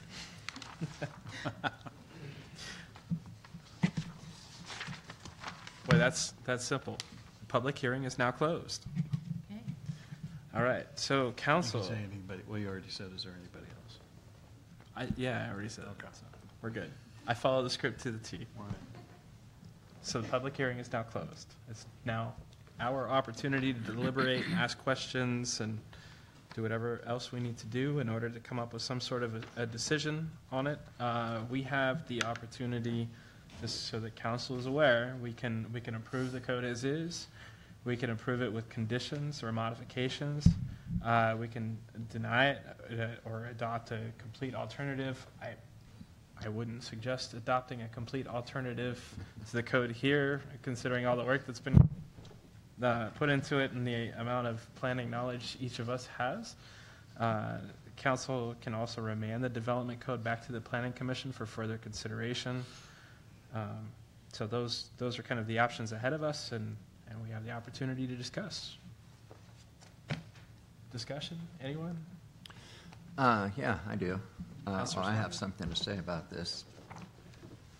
We, with this code, you know, we have, uh, and I don't remember which lady was up here, I believe you, but I've been here 64 years, so, yeah, I understand. We open our arms wide and rubber stamp housing developments, yet we're trying to kill commercial. Now, granted, downtown, the core downtown, with the code that you want, with buildings at the front, I can understand that. That's a must. Out of the core, it's ludicrous. Under those circumstances, Mart's out of code.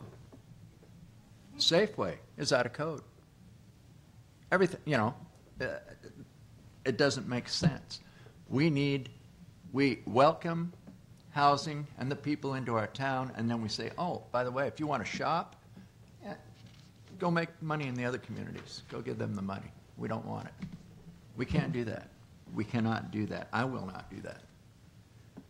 Uh, The drive-throughs, we've got uh, the post office.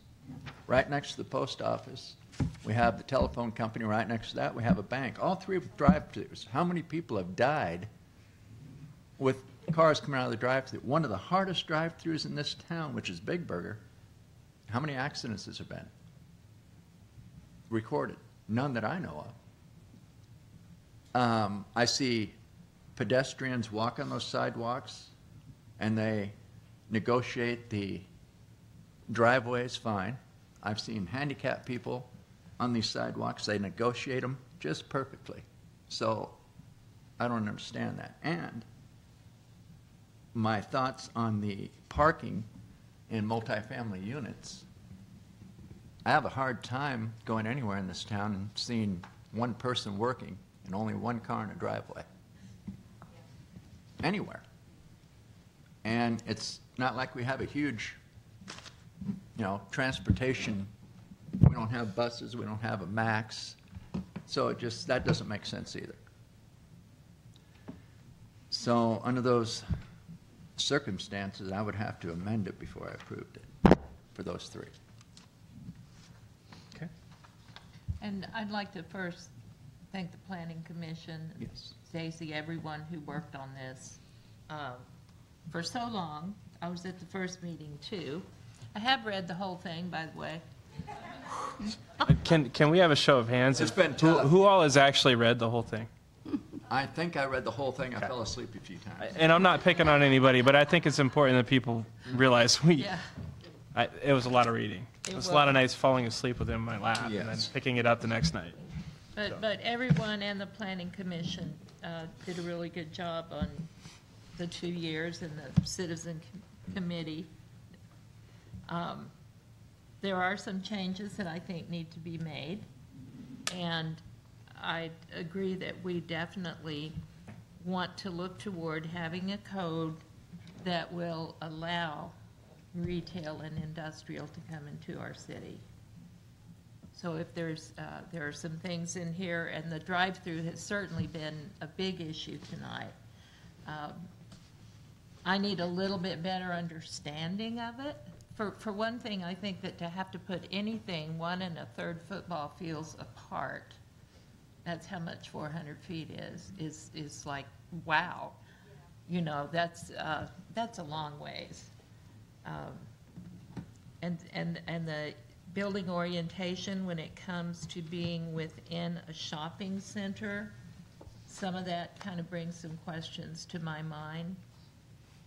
So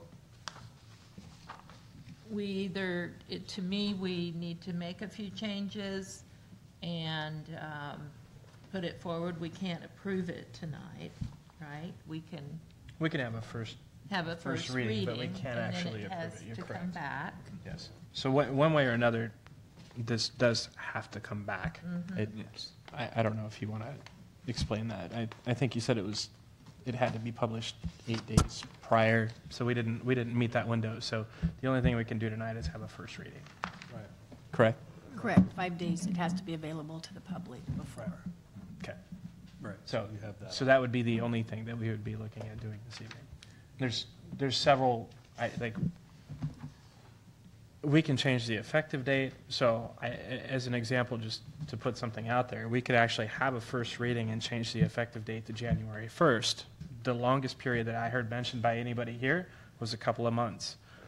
I, one of the issues that I take with, with this is this is a process that's been going on for two years. And I'm not picking on you, Bill, but Bill was involved in the process. So, so we've had this vetted by our community, we've had it vetted by our planning commission.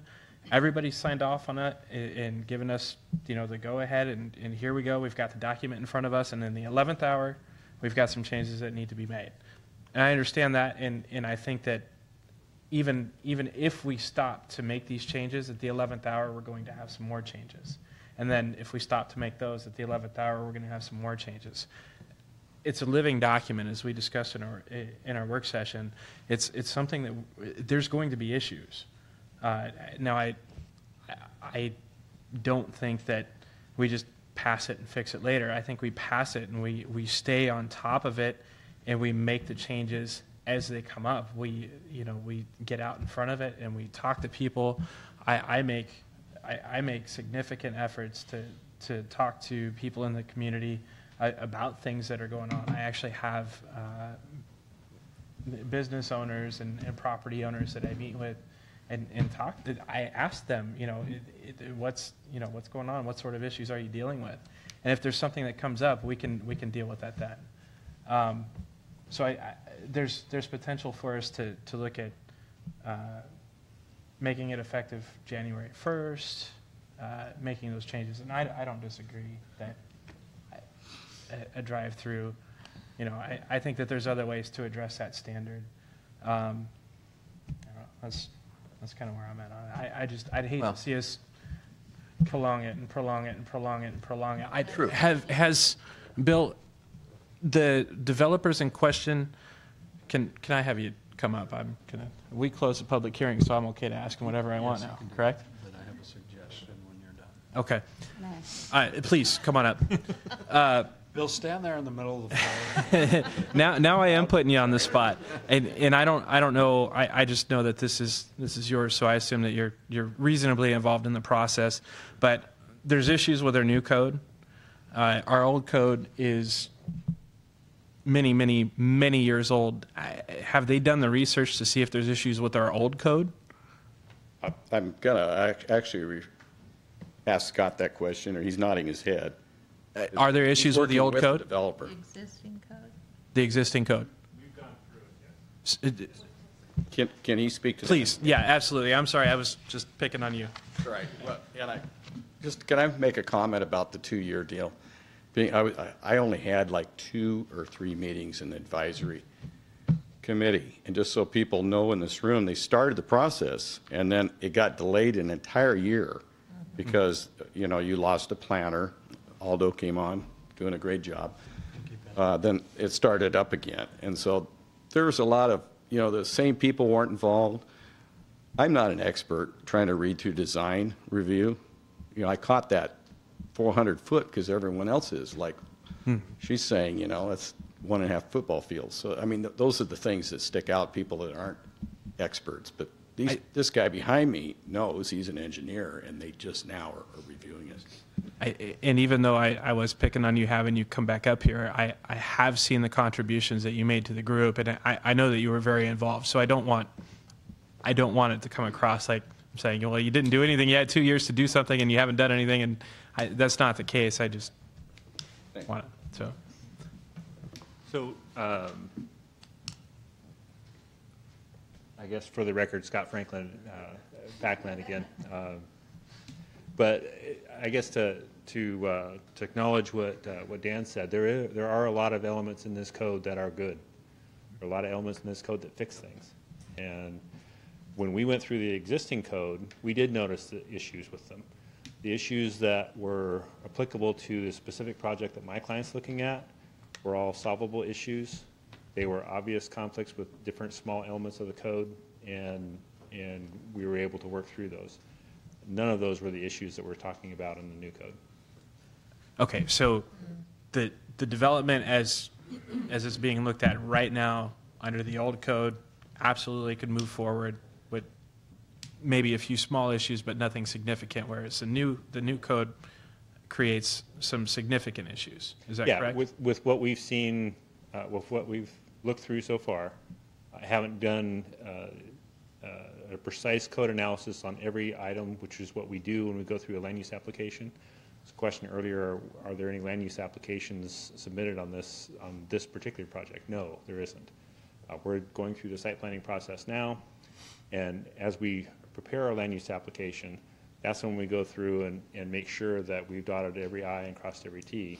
So during that process, is there something that could come up that could be addressed with a minor variance or adjustment or something like that? That's possible. It may not be necessary. Okay, thank you. It's not to the extent that we're seeing in this current code. Thank you. You have an- I have Yeah. a suggestion. You need to recognize him I- and come to the lectern now. What's that?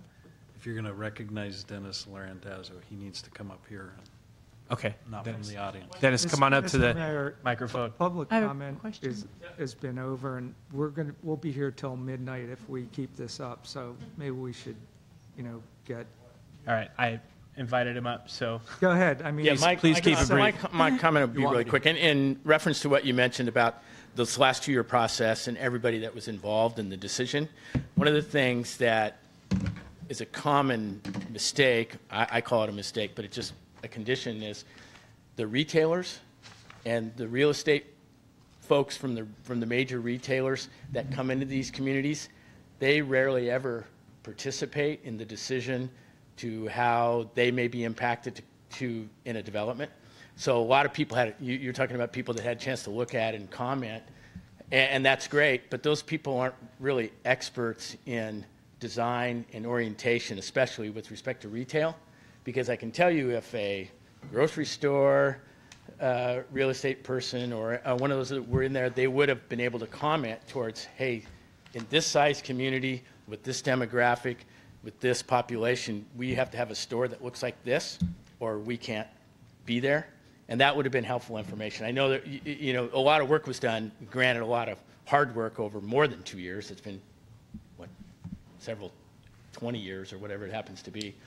But that component is always missing in, in every community. Fair enough. And that makes it, you know, and I think that's something that's important to recognize.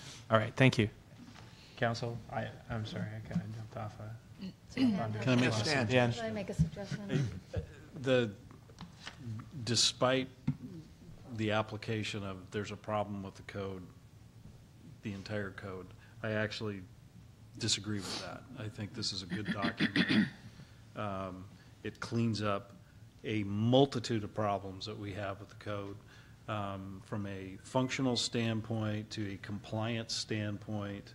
However, what we're talking about with building orientation and drive-up uses is not necessarily that kind of a function of the code. It's a design issue, okay? We're talking about design issues. And you could delay the, the adoption of the code. I, I think Stacy likes Molalla, but she probably doesn't want to keep coming back here. Um, Sorry, I don't mean to speak for you, but that's probably the case. You could, there's a number of things you could do since this is a legislative document, okay?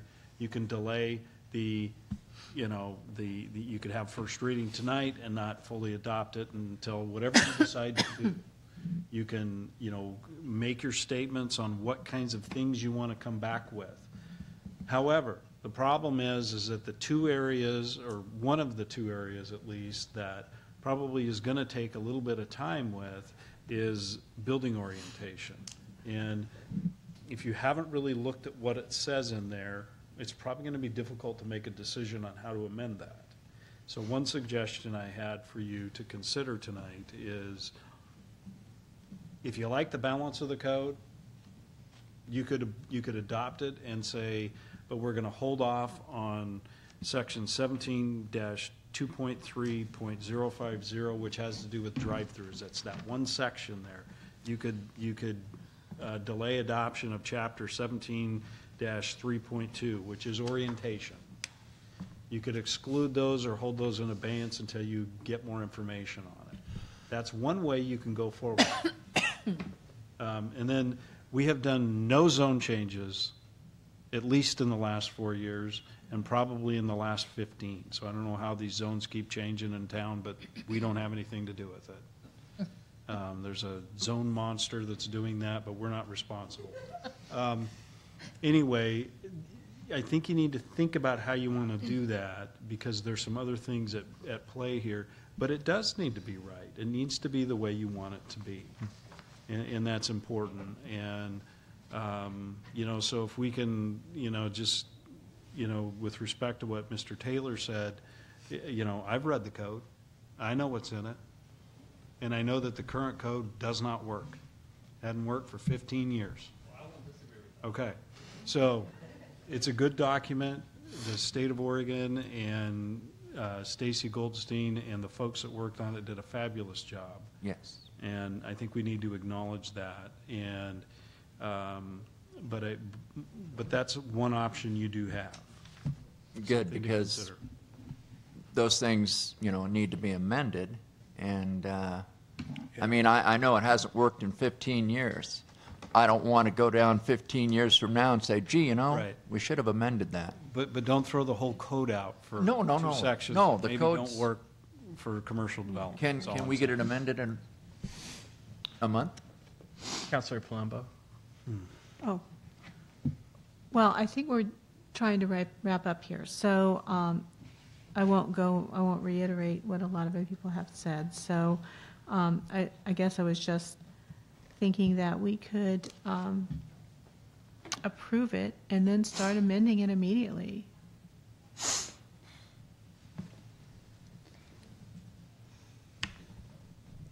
Council President? Um, Well, I want to commend the staff and committee and volunteers who participated in all this work, because it, I, I did read through the entire code, and um, I think it's really a stand-up document, so thank you for that. Um, The same things that stood out to several people here about the parking, the drive-through situation, the orientation of buildings, all jumped out at me as well. And um, I would say that I like the idea of perhaps helping to move some of this code along because for people who maybe don't have protection, I, I'm not sure where the lady went that has the, there you are, you're back. Um, you know, providing some protection if her house burns down now, that she's now has a, a way to deal with that and not lose, you know, all of her investment. Um, but I do, I am very concerned about having this blanket statement about how far drive-throughs have to be. Um, I, like Councilor Boreth, went online and spent some time today looking at other communities and what they do. And, you know, really, it's an assessment of each type of business and the type of impact that they bring in a drive-through situation. Um, a bank is not going to have the same as a hamburger restaurant as a dry cleaner or, uh, say, a drugstore. So I think you've got to wrap a little kind of common sense around the queuing of traffic into those spaces and what that looks like, um, as opposed to saying you have to be 400 feet apart. So um, I would love to see some more work done in maybe looking at queuing or maybe setting some standards there to make it more flexible, um, but give clear guidelines to developers or retail businesses that want to come in with a drive-through. Um, I agree that the parking situation with multifamily in particular, we live in a rural community. As um, Keith said, we don't have access to a lot of transportation modes. People drive. We live out here, we drive to Portland, we drive a lot of different places. Um, you may have a single mom with some kids, but you also may have a family of four with two teenage drivers in the home in an apartment building. Um, and so if you only have one space designated to that building, I think you're going to create a lot of challenges. Um, and orientation, I spoke to Dan today. Poor Dan, I uh, read this and then I called him and I bugged him for, I don't know, hour and a half, hour and a half with a lot of questions. But, but the orientation, you know, I've seen construction that comes straight up to the sidewalks and right up to the right of way. And when that happens, if you have future growth and you want to expand your roads or do anything else, you're stuck. You really can't go beyond where that building is. Um, and that creates a lot of challenges. And I, I agree with Keith. In the downtown core, when you've got buildings, you know, and your parking is, is street parking, that's different than, say, out in C2 where you're going to be in a bigger commercial shopping center. So I share all these concerns. I do want to see some things move forward, but I, I want to do it really thoughtfully and not make a mistake of adopting something um, without fixing some of these, these things in here. I think they have some room for improvement. I- Has everybody had the opportunity to speak so What? far? Councilor Boreth? Um, So just to give some perspective, um, I've been doing this on and off for 10 years, and whenever there's uh, something that has to do with the code, um, business owners come out the last minute and show a bunch of concerns. And I just want to thank Mr. Avison for being part of the, the process from an early stage. That's really helpful.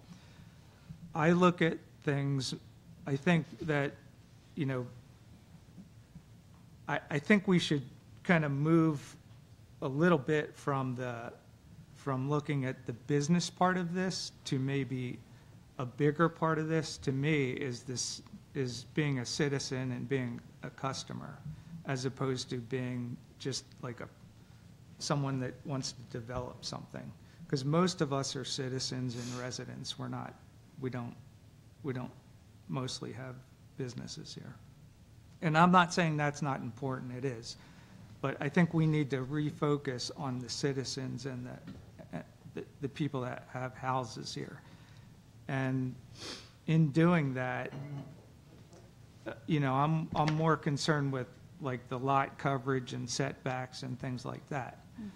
And I just wanted to ask um, the consultant, um, Ms. Goldstein, um, the lot coverage, um, and I can give you a page and a, and a, um, or not. Um, Was that part of the model code, or was that something that was altered in the process? Good question. That was altered as part of the process, and we brought in an urban designer to do some case studies uh, using that data to make sure that it does in fact pencil out and work uh, for t- today's uh, development. So those numbers were not just arbitrarily selected. Right. They were actually tested to make sure that they worked. And I'm assuming like the lot coverage, you know, I'm looking at single-family, like depending on the, the zones, like 40%, 50%.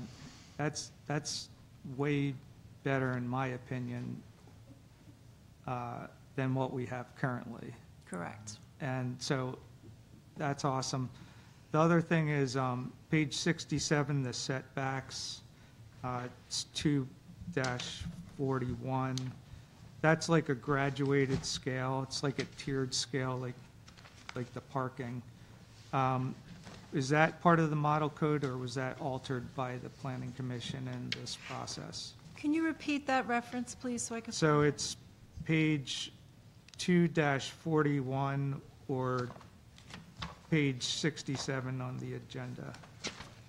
And it's the, s- It's table seventeen dash two point two point zero four zero.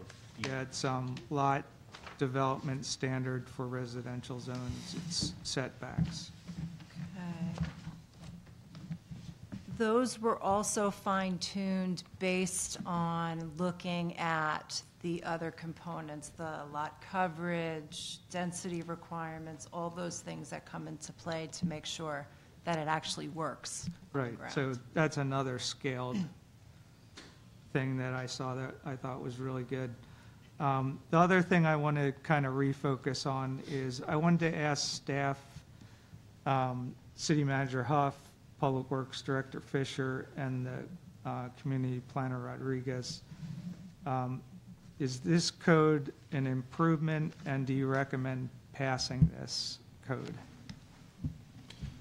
Go ahead, you guys. I'll let you I'll finish up. I'll let you go first. Um, I definitely would recommend it. Um, you know, if I would have started my first day and Dan would have plopped this on my lap instead of our current code, I think I would have, you know, a lot less nights. You have more hair. going, uh, you know, going back in my head, you know, what, you know, what, what should we do for even land use versus site, you know, site design, type one public notices. It- It's a, been, spent a lot of time trying to figure it out and, you know, looking at.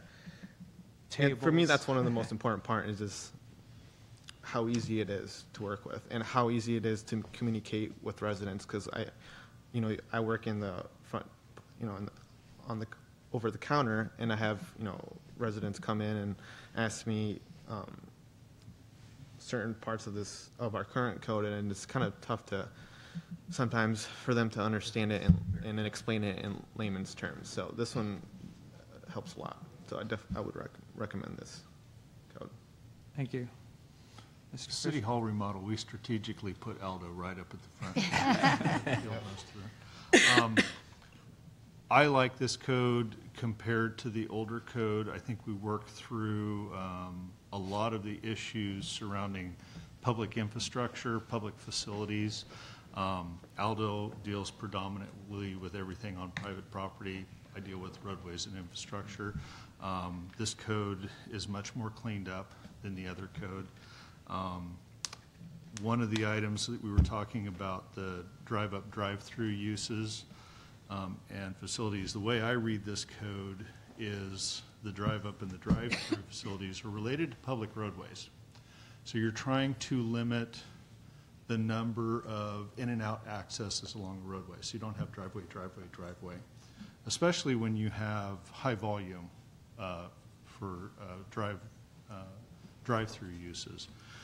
Um, Just while they were talking, I read the purpose and I read the portion in the C2 district zone. And the handout that they supplied, all of the drive-through uses are internal to the development. So that's perfect for me, because I don't have a whole bunch of curb cuts on the roadway. So the way I read this code is, is that these two developments would comply with this code. Could we add something in here that says this is in regards to public streets, so that they're not thinking, well, I can't have an internal um, drive-through within 400 feet of another internal drive-through. Maybe that's where some of the confusion is taking place. I'm not going to talk about building orientation. It's a private property development planning function. I only care about what's happening on the roadway and the infrastructure. So from that point of view, um, I think it's a good code. Yeah, Gerald, one thing I was thinking about, which I was trying not to take up time, was if they could add a phrase where it says, except when within the confines of a shopping center, so that it would be not cutting into the road, but Or, or specify that this is, this is specific to the roadway. Am I interpreting that right? So you're talking I, you know, I think. I'm talking about, I'm talking about shop, uh, drive. I mean, that- every Are we 400 talking about feet the except when purpose they're- statement, or are we talking about the actual code? The, no, the purpose statement, just the way I interpret this, the drive-up and drive-through uses and facilities, um, and I'm not going to read the whole purpose statement, but if we, if we do a minor tweak to this to just state that this is, this has to do with movement conflicts and to provide uh, for pedestrian comfort and safety Mhm. on public roadways. Um, If the intent of it is to Joe. limit Just, he's got it swapped the tape. Oh. Council, can I have a motion to take a five-minute break, please? Take a motion to take a five-minute break. Second. All those in favor? Aye. Aye. All those opposed? None. Okay. Sorry, Joe. I didn't see him back there. It's like Leota telling him to quit reading. I'm telling you. I got another report. I said, that was like Leota telling him to stop stop reading reports. I think it applies to internal sites Is that as the well. way I don't think it's specifically called out. Well, you know, all of Okay. us have feelings. So, from my Like a bad penny. I know, I was mad. I said, I, I know, well, yeah. So It's more of a planning, As long as it's, as long as we're limiting access Set to that down. roadways, so I don't. and I think, Even right in, right out. for me, Yeah, that's over there. the crux of it. Right there. Is you don't want Oh, right there. You want me, is that too high? the thought of turns, left turns, right turns. Well, we had a discussion about And as long as it's designed internal to the site in such a way. You can. Oh, yeah, well, I don't want Sorry. I know. So you have my sandwich brand. Yeah. Yeah, but someone can- Yeah, there's a bunch of left. So, um, so, you know, it's. From from a public works standpoint, if we're just talking about public roadways, Well, I'm glad you're on the planning then it, then it's fine, the way, the way it is, and, and this will be I think we all need to form a. If it's not, and it's an internal document, or internal, No, that's gonna be a decision. then that, that's, Right? that they'll have to revisit. That's And my as long, thought. you know, Now we can talk. as long as, as long I as the provision applies to Who you streets, ask to do something? The I'm people that are already doing things. because I think that is, the you're right, that's the crux of the issue. Yeah, because if they're providing the pedestrian connections, they're properly marketing them. Um, yep. Right, I mean, if they the- develop this internal, you know, the, If you've got internal pedestrian connections, Oh, which this was a code lot more than one thing. then it should be, And it, and now the code requires internal pedestrian Right. connectivity. So if they're providing internal connectivity. Every what night? Cover the microphone. as long as we're, you know, if this is designed such that. You are being recorded. And there's no wonky pedestrians. I think it And I complies. think it would. I'm sure it is. Yeah. We're having trouble with, uh, this lot. This is, this is a spec development. People get very passionate Yeah. about schools and their kids' education, yes. And I don't think, I'm struggling with addressing their preliminary design of an event like this. Well, and, and what I'm, what I'm trying to say is, is you can bring me fifty thousand different ones, yeah, if they're all know, laid out this way, it's a lot more as long as they do their internal designs for pedestrian connectivity between the buildings and the street, and as long as the internal Then it should be traffic pattern it, uh, uh, facilitates the drive-through so that it's not happening in the right away, then I look at it as complying with the code requirements. So Probably. I- I'm not saying Yeah. anything that they're proposing that they would not be able to do, other than maybe the building orientation. You know, and I don't, I don't, I guess, you know, me being the planner, you know, think about other communities where they have the building orientation standard in place. And it works fine. I mean, those are- Hi, Bill, I'm Keith Swigart. Yeah. Yeah, they're. Oh, yeah, everybody did. Oh, yeah. But they, Oh, yeah. but they don't like it this. The- Yep. the- Yeah, but- These guys want to be up front. How are you? They want Good. So, does No, mean the seats- I've been so busy. It's gonna be their decision.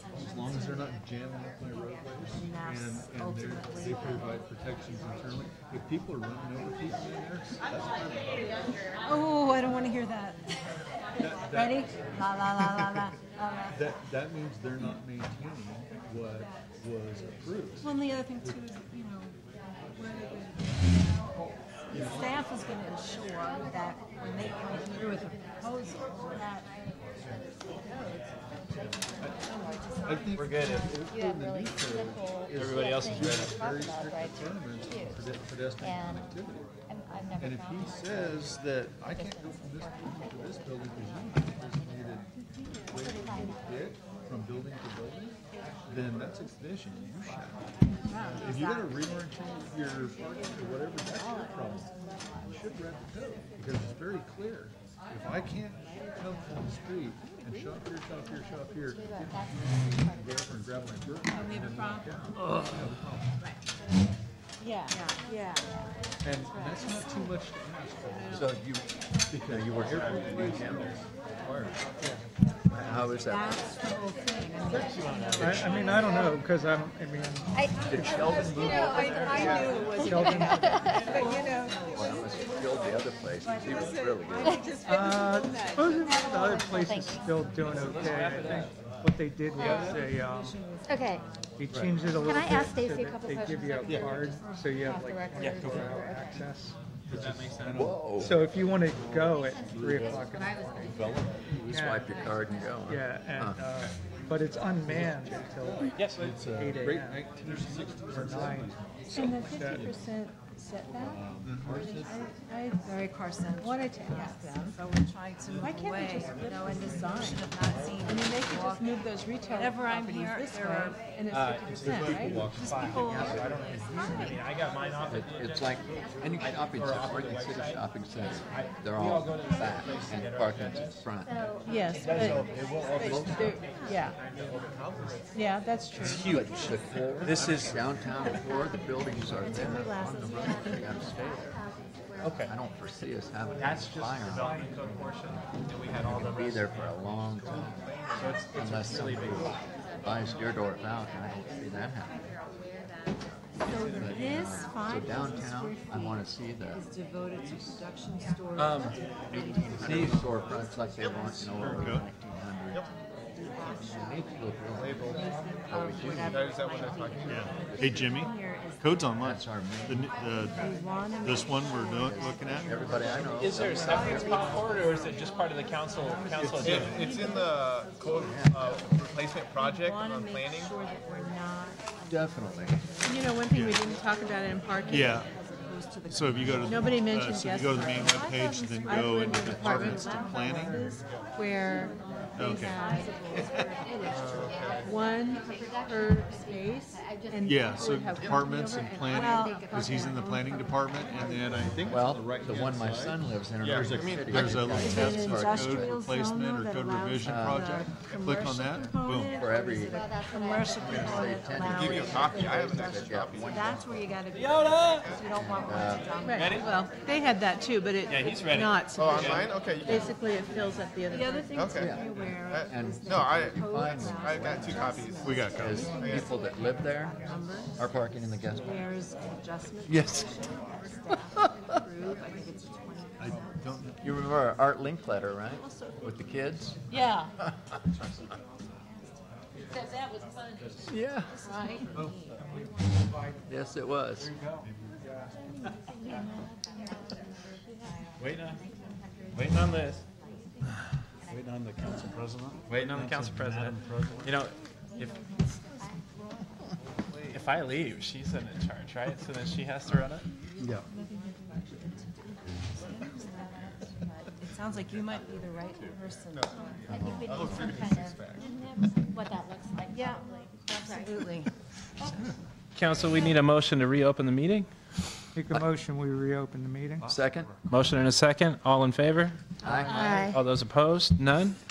Okay, Gerald, I cut you off. Do you need to oh. continue with it, or? I, I just had a discussion, my interpretation, I believe, is right. Could we tweak this language? Yeah, no. I think that, that the uses, or the internal uses, um, for, um, that pattern to happen inside the development, which is where you want it to happen, as long as they're pro- providing pedestrian connectivity, which is in the old code and the new code, and they're not trying to put a bunch of curb cuts in the roadway. I think that any version of these complies with the, with the old and new code. Um, But if you want to pull this out so we can dress up the language, then that's, that's something that we can do to kind of wrap that up and make it a little clearer. You speaking about the drive-throughs? The drive-throughs, yeah, seventeen dash three point two point oh six oh. It's a very small section. And you had asked all three of them. Do you want Yeah. Dan to answer as well? So I think I know his answer, but if you want to just say it for the record. We don't really care what Dan said. I, I think when you, when you talked about taking a look at the code as, as residences or other, you know, folks that live here, work here, um, and function in this town, that part of the code actually functions very well. Um, It's, uh, and Aldo, Aldo said, you know, if I'd have handed him this code instead of the current one, he'd probably be a lot better off today. But, uh, so in that sense, it's actually a phenomenal improvement from what we have. So I don't want to lose that component, okay? Procedurally, it's, it's a better improvement. If you all as a governing body decide to make some design changes based on what you want to see and allow for commercial development, you know, that's, that's fine. I just don't want to lose the balance of the code for that. Um, No. a- As your staff, we desperately need that part of the code. And so does the general public. Um, It's, it's a difficult thing for the general public to use as well. And just, you know, as, I, I think that that, that affects more people than, than the commercial part. And, and again, I, I think the commercial part's important, but I think this other part is, uh, will affect more people. Um, And I think we're all pretty much, um, hopefully, you know, the issues are the, the tiered parking, the orientation, and the drive-through. And I think, but the rest of it, we're, we're um, hopefully on the same page on. So, Mhm. uh, Mr. Mayor, I don't know if you have a. If, if I can throw suggestion. out, throw out a recommendation, um, you know, as, as was mentioned, there are many different ways that we can handle this. Um, Listening to our discussion, uh, the information that we've had, I'll make a suggestion. If council's interested, you guys can take action on it. Uh, I would suggest that we have a first reading tonight by title only uh, with the amendment to the, the parking for uh, the multifamily um, excuse me, for duplexes, first and foremost, presently it's two per duplex. I'd like to see that change to three. And then on multifamily residential, instead of one, an actual tier. Our current code has one for one bedroom, uh, 1.5 for two bedroom, and two for three bedroom or more. I'd like to see that increase because our present standard doesn't provide enough parking for the, the residents that are there. Uh, I'd like to see that increase to 1.5 for one bedroom, two for two bedroom, and 2.5 for three bedroom or more. Uh, And then, in addition to the amendment to go ahead and hold back uh, section 17-2.3.050, which is the drive-up portion, and 17-3.2, which is the orientation. Just hold those completely back from it. We can have that conversation at a separate time and go ahead and move the rest of it forward. I agree. So be it. So I have a motion. Second. I have a motion and a second. Any discussion? All those in favor? Aye. Aye. All those opposed? None? So the first reading by title only. uh, I need the title. Ordinance. right here. Perfect, thank you. An ordinance replacing the Molalla Development Code. Boy, that was difficult. All right, ordinance number 2017-08. All right, so we have the first, first, you got it. Yes, we do. Okay, we have the first reading tonight, amended the one, the other two items are held back, that'll come back. This will come back for a second reading at our, at our next meeting. We can, we can handle it how we would like to then. Okay. Yes? What are we going to do in the meantime about coming up with how we're going to change The amendments. the amendments, the things that were held out? We have. I have, go ahead. Go ahead. We have, we, we have some discussions to have with, with the consultant and the state on where we go from here on that component. And uh, we will possibly at your next meeting, there's, um, sorry, I'm looking at my glasses and I can't see you. Um, There, there's a couple of options that we have at that point. um, But we'll give you probably a report on what we need to do at your next meeting. It may need to go back to the planning commission, it may not, so but we may need to work on that. That was an idea we had tonight, so um, where we go from here, I don't have a great theory for you. Well, I'm, I'm not sure I understand why it needs to go back to the consultant. I'm not either. They've given us a document. Yeah. We know the changes we want to make. Now, if they want to type it up or put it into the document. Well, what I mean by that is we have a, we have a grant process that we need to wrap up. So Okay. we really do need to look at that and see where we are. Part of that grant process was the city adopting the code to wrap it Okay. I'm with you now then. Okay? Okay. So we need to talk with them about where we go from here on that. If what you did tonight gets us to the end of the project, or if we need to wait a little bit. And so, Got it. okay? Thank you. All right, any other question or- or concerns? All right. The next item that we have is under general business, ordinance 2017-09. Uh, amending section 1.02.240 of the Molalla Municipal Code related to the authorization of expenditures. And we've, I guess I can speak to that one. Um, Council had actually requested that we have some changes to the code come back uh, regarding the spending authorities. So this would change the department heads from 1,000 to 5,000 and change the city manager spending authority to 100,000. Uh, This is for budgeted items, items that go through the public process, are appro- approved as part of the budget. It's not just allowing them to write a blank check for, for that amount.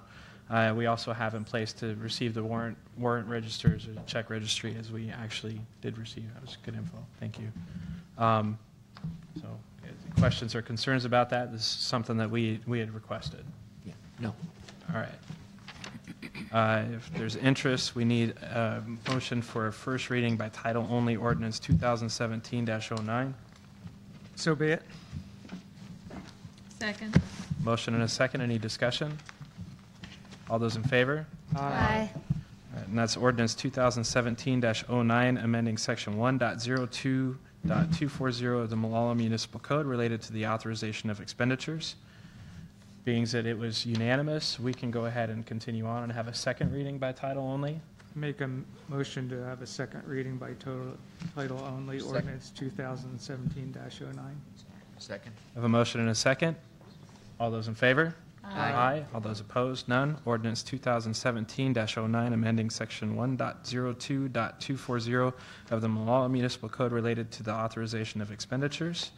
And if there's interest, And we make a motion to adopt. approve ordinance 2017-09. Second. I have a motion and a second to approve ordinance 2017-09. Any discussion? All those in favor? Aye. All those opposed? None? So be it. Onward to reports and announcements. Aldo, I, unless, you have anything for us this to go evening? I, I do not. Okay, all right. I'm going to head out. Thank you, Mr. Mayor. Thank you. Council. I do not.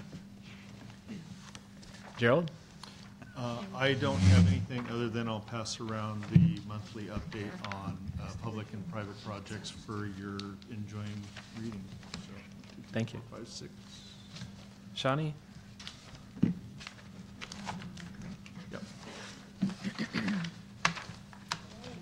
Um, The only thing I have is an update on utilities. So our deadline was September 1st, and we've received uh, about two-thirds. So we've done an extension to October 15th. We sent a notice out in the, in the billing that will go out on the 1st. And within a couple weeks, we'll send out a letter to the specific final people that have not done it. And we may have to um, turn their water off in order to get them to comply. Can we put something in the newspaper first? Reach out to do some sort of, We can, so we I- I mean, I know that- to I know what we've done to do the outreach, but We want to reach out as much as we can, so. Thank you. Dan? That was it? I think so. Did you have anything else Nope, for us? No? Done. Um, So tomorrow and Friday and Saturday, Elise, Cindy, who's not there, Glenn and Elizabeth and I will be at League of Oregon Cities. You're all missing it. Um, That's one thing. Three days of fun. If, I- I wanted to bring up, you- so we- we've got everybody scheduled for the goal setting uh, at the end of October, first, first of November there. Um, I got one no on coming in on Halloween. Uh, And that was from the person who isn't here, for a communication discussion with the consultant that's coming in to do the customer service training. Remember that email I sent out? Yes. Are you all avoiding me I- because it's Halloween and you Yeah. don't want to come in and go to work? I got, I got hung in effigy at City Hall for that, just letting you know Are Are you you bringing asking us candy? for something, or? that. We can bring candy. If you, Can if you need come me up here, I'll. You can I'll be come in here. your costume. Okay. If you need me here, I'll be here. Hmm. Yeah. We're, we're gonna, s- we're gonna have dinner. I, I can attend. Well, I think if one out of seven can't make it, that's unfortunate. Well, that's the only one I heard back from, was I one can, of, I can ignore my wife's uh, retirement party, so. My wife had one. I'd probably be here too. there it is. Hey. She doesn't want one anyway, so. Perfect. If you want us here, how about you let us know? Yeah. We'll be here. Okay. I'll send Yeah, we're them a- dedicated. Okay. Aren't we?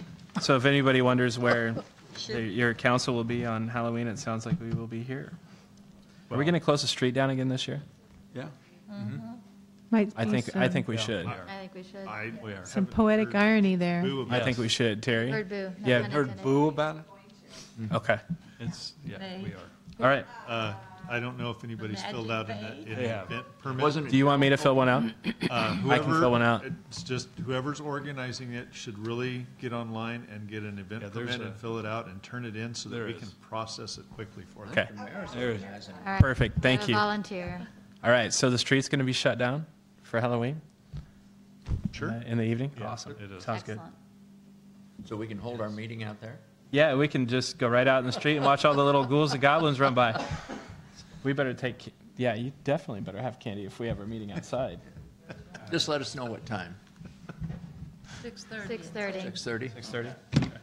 That's all I had for tonight. All right. Councilor Palumbo? Nothing tonight. Councilor Swigart? Councilor Boreth?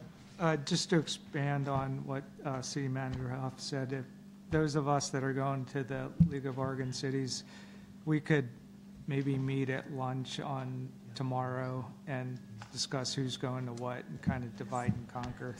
That way we could cover as many bases as we could. That'd be awesome. Good plan. Looking forward to it. Thank you. I'm not. You're- You're going to the, the mayor's, right? Councilor, anything? Uh, Just to report that Councilor Swigart and I attended um, a a, uh, county meeting on housing affordability. And if you'll note, they've changed the name of that from affordable housing to housing affordability because it is two different things. And uh, it was, it was uh, Had a lot of good ideas. really interesting. Uh, The county and- is moving forward, and cities will be moving forward. And uh, Councilor Klein has mentioned the countywide uh, study that's going to be done, and that was mentioned that day again. We have a lot of people struggling to have housing. People are spending sixty percent of their income on housing, and, and that makes it impossible for them to live with any kind of quality of life. And so we hope to be part of changing that. I think the, So we'll revisit the code, Aldo. when, when we, when we get the proposal back, it'll actually come before council for us to decide whether or not to participate in the, the housing needs assessment. Um, But that is in process to get information. There's supposed to be some discussion about SDCs, it sounds like, at our next C4 meeting, but I may have to wear two hats that night. You can sit at the table. I, uh, no, you'll have to sit at the table because I may have to actually be a staff member that night. And you want to tell about the vision? Yeah, Yeah, are you done? I'm done. You- Okay, all right. Councilor? Um, so we started phase two of the visioning process for, um, our Molalla area project, and, uh, we're really excited. The surveys are available online for people who haven't participated already. We'd love for you to get online and take the surveys. We've got them in English and Spanish. Um, we have a group of vision, we're gonna call them our vision champions, um, who have volunteered to help us deploy surveys in a lot of creative ways, um, reach out to their networks, print surveys, maybe going out with Meals on Wheels, um, going to the schools, having students fill out surveys, and just put a lot of creative thinking into how to get as much participation as possible. And again, looking at our service area, if I'm remembering correctly, we may have, you know, 9,000 people in city limits, but we have a service area of somewhere in the neighborhood of, what, 46,000 people. Um, Those are people who come and use our service, spend time in our city. We want to hear from as many people as possible. So um, stay tuned for that. We're going to have community meetings, and we're going to go to businesses, take it on the road.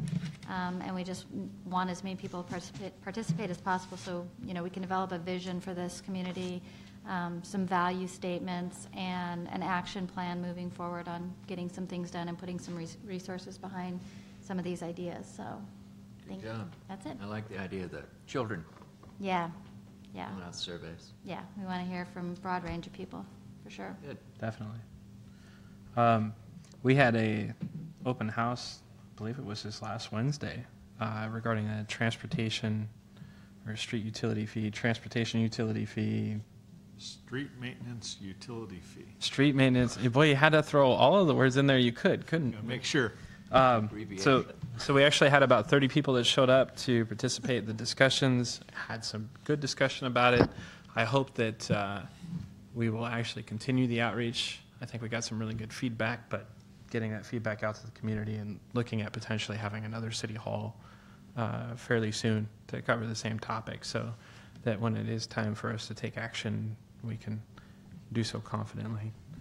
Um, I don't have anything else this evening. If Council's ready to go home. I'd entertain a motion to adjourn. I make a motion, we adjourn? Second. I just want to say one thing. Can I say thank you to our Public Works Director for this comprehensive list? Will it be included in our online packet so people can read this? Uh, yeah, at a certain point, we probably will, and with um, Andy coming on board, uh, once he actually gets his feet underneath him out there, we will add a section onto the end of it that um, every other month will be an update on the work that the maintenance division has done, including the parks, and the other months are going to be the water treatment plant and wastewater treatment plant and the work that they've done, because they do a lot of maintenance and equipment replacement and stuff out there that is above and beyond the capital projects and the private development. So we'll kind of highlight those every other month too, once he kind of figures out where they're at. And I'd like to ask to receive that by email. That gets forwarded to the chamber, who distributes to their 170 members. Mhm. So, Okay. thank you. Thank you. The other thing on that note is, we did things just a hair differently with how we sent you the agenda. Any thoughts on that, in addition to that? You know, like, we didn't make it so you got the entire thing, because it was two hundred and sixty. I got the entire thing. We got the link to the entire You thing. got the link. We, we got the, we But got you didn't have- certain. You didn't have to find, you didn't Yeah. have to. Didn't have to open it. You didn't have to open it if you didn't want to. 'Cause there was a couple of other things. There's a letter from uh, Commissioner Bernard in there and that whole pile of stuff we sent you. So we kind of gave you a smorgasbord rather than just Mhm. dump the whole thing. And that, that was really what I was, If it's not 260 pages, I'd like to see one email, but breaking it up when you've got major Okay. sections, I think is helpful. I- having the, the separate pieces, like the letters, I think called those out within the Right. email. So I, oftentimes when it, you get 50 pages, something that could be a single page can get lost, so. Mhm. okay. Yeah. All right, uh, anybody want to call the question, or shall we just go ahead and vote? Call the question. All those in favor? Aye. Aye. All those opposed? None? Thank you. Guys have a good evening. Thank you. If you would like to sign your name away, you can. No, I think All right. so.